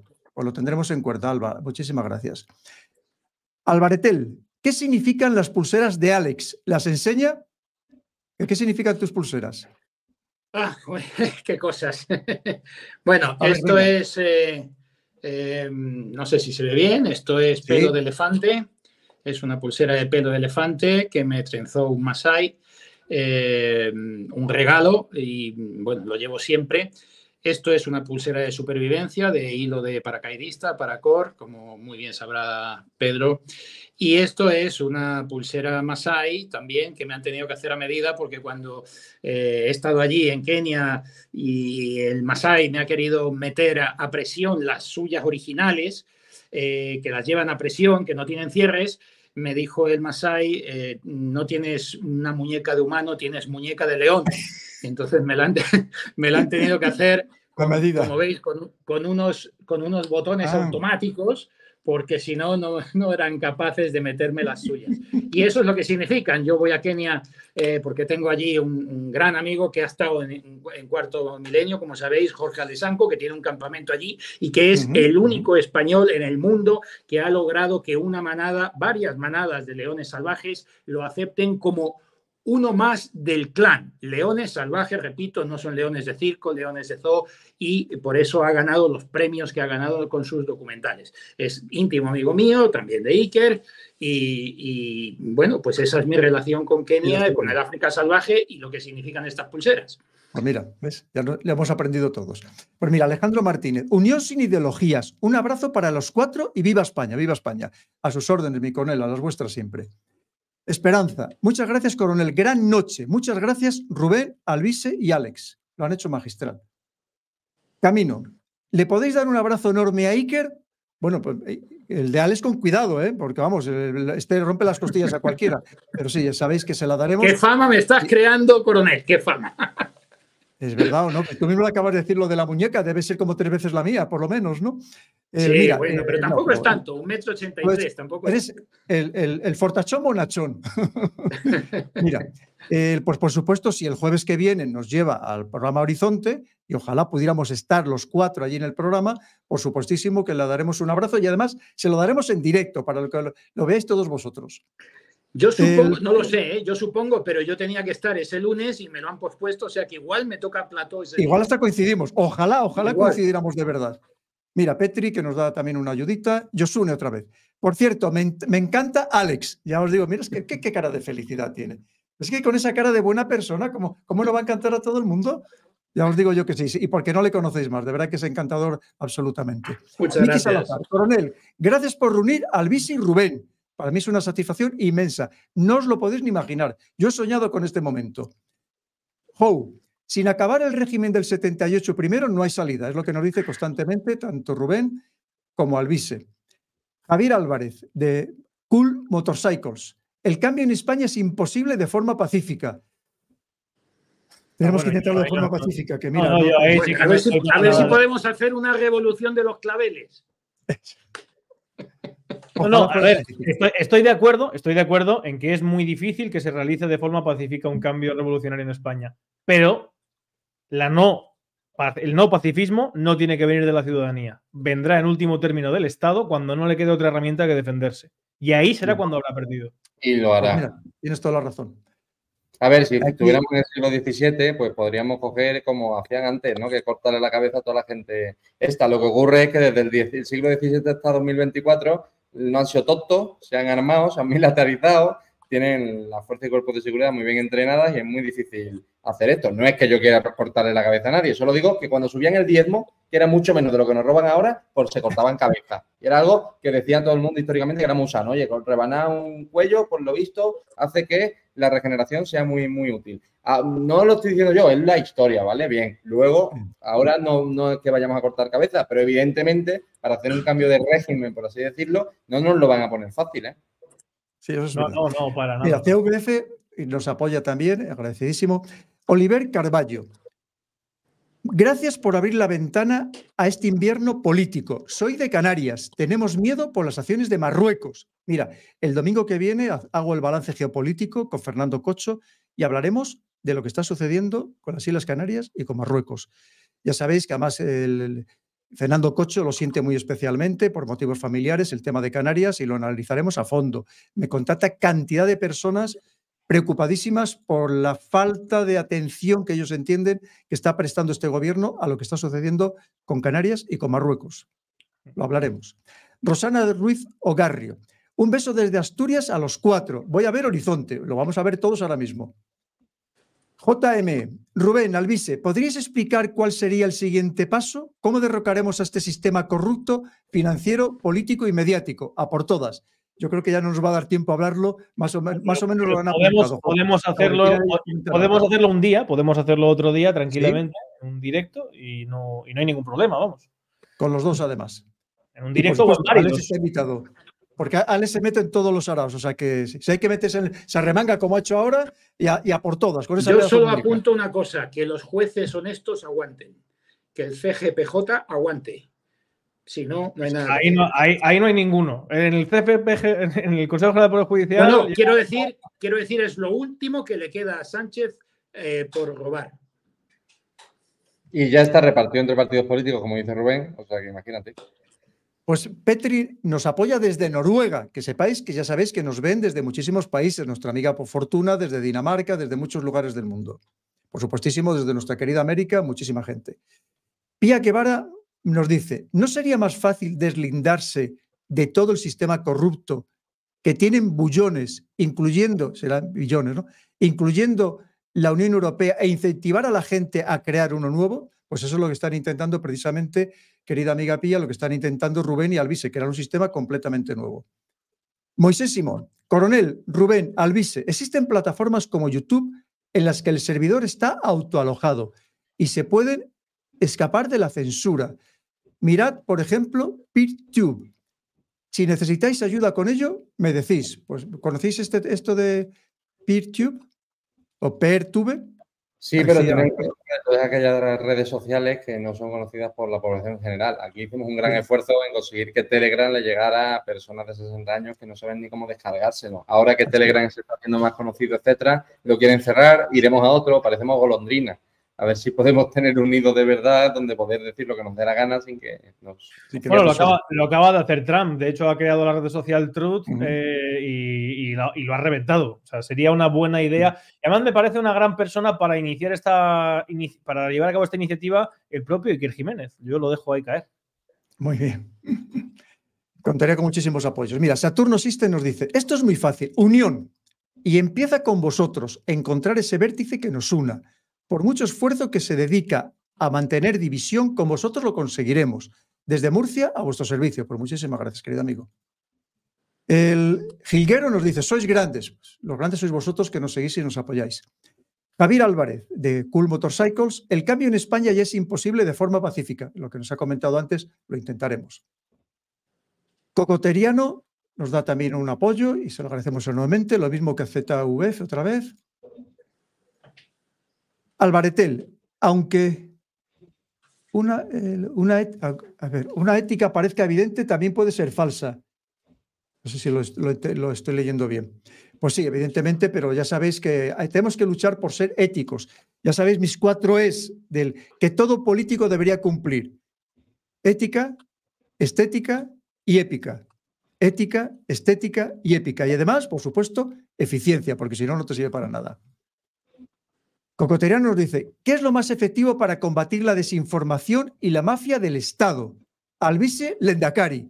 Pues ya sabéis lo que estamos haciendo aquí, beber de muchas fuentes, oír a muchas personas, no dejarse llevar solamente por los medios oficiales, que se han convertido prácticamente todos en medios oficiales porque están subvencionados por el gobierno, y intentar, pues precisamente, oír a voces, pues como la de Rubén, permanentemente, el canal de Alex, oír permanentemente. la, valentía, la valentía es un virus, la valentía es contagiosa. Cuando te ven a ti, Pedro Baños, siendo parte del ejército, dar tu opinión, o a Rubén Gisbert, o a Iker Jiménez, o a ti, Alex, eh, están diciendo, coño, estos están diciendo lo que piensan de verdad, porque yo no lo puedo decir, ¿no? Es como un Chain, ¿no? La película esta de Leonardo DiCaprio que ven al negro montado a caballo y dicen, coño, el negro va montado a caballo, ¿por qué yo no? Pues esto igual, si nosotros estamos hablando de libertad y no nos autocensuramos, como hace la mayoría de la población, cada vez más personas se van a unir a hablar en libertad.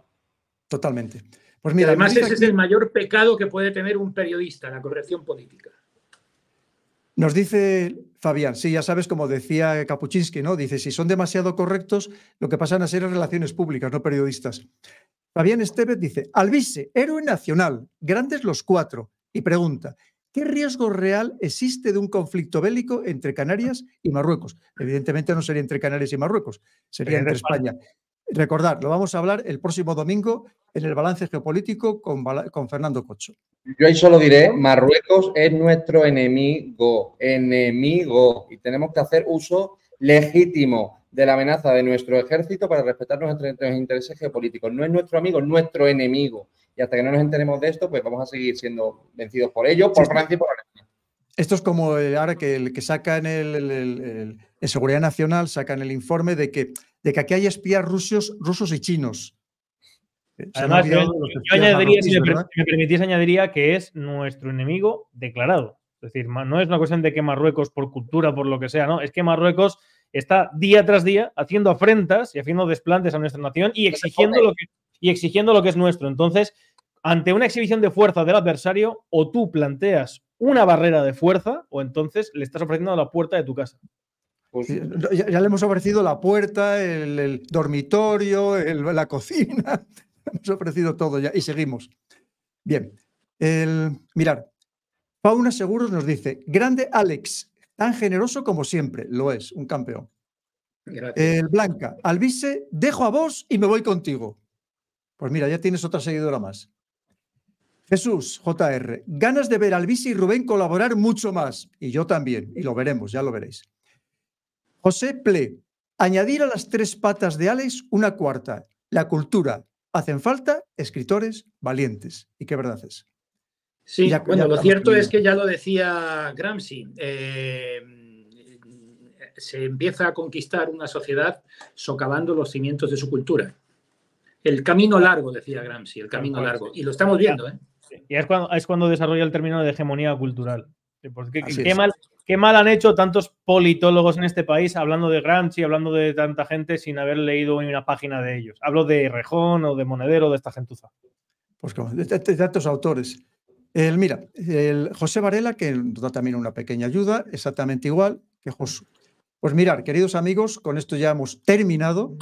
Por favor, os pido, me voy a despedir, nos vamos a despedir ahora de nuestra queridísima audiencia. No os vayáis, que quiero luego haceros un comentario ya fuera de escena, pero simplemente pues decir a todos nuestros queridos seguidores que dos horas y media hemos llegado a 15.200 personas en directo viéndonos, ahora todavía tenemos 14.300, más de 14.300, creo que es un grandísimo éxito y el éxito lo habéis marcado lo habéis determinado vosotros, sobre todo Rubén y Alvise, por lo que habéis significado. Evidentemente, Alex ha estado desde el principio, ha hecho una labor magnífica, pero creo que reconocerás conmigo, Alex, el hecho de que hayan participado y hayan lo conseguido, hayamos conseguido, tú también has, sido parte de ello, que limen estas asperezas y acaben de la manera que han acabado, y con todos los espectadores, nuestros queridos amigos, alabándoles, animándoles a seguir en esta línea, creo que de verdad esto es un hito totalmente histórico. Como tú decías, Alex, podrás decir, yo viví aquel momento porque estuve presente. Como Homer Simpson, yo estuve allí. Sí, te dije, dos gallos en el mismo gallinero, no lo, no lo veo pero me tengo que rendir a tus pies, Pedro, porque efectivamente creíste en lo que, en lo que ha pasado y, y chapó, Mi respeto.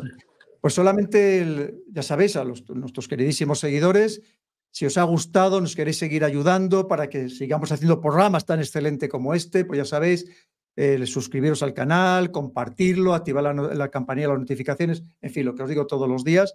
Y simplemente por despediros hasta el próximo programa. Que intentaré siempre traer a los mejores para que sea todo lo más interesante posible. Y mientras tanto, pues que paséis muy buena Semana Santa, unos excelentes días y nos vemos el domingo en el balance geopolítico con Fernando Cocho. Muchísimas gracias, queridos amigos.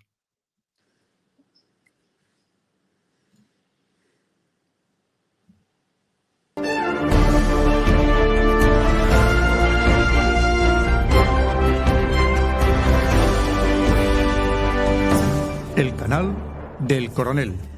El análisis geopolítico de Pedro Baños.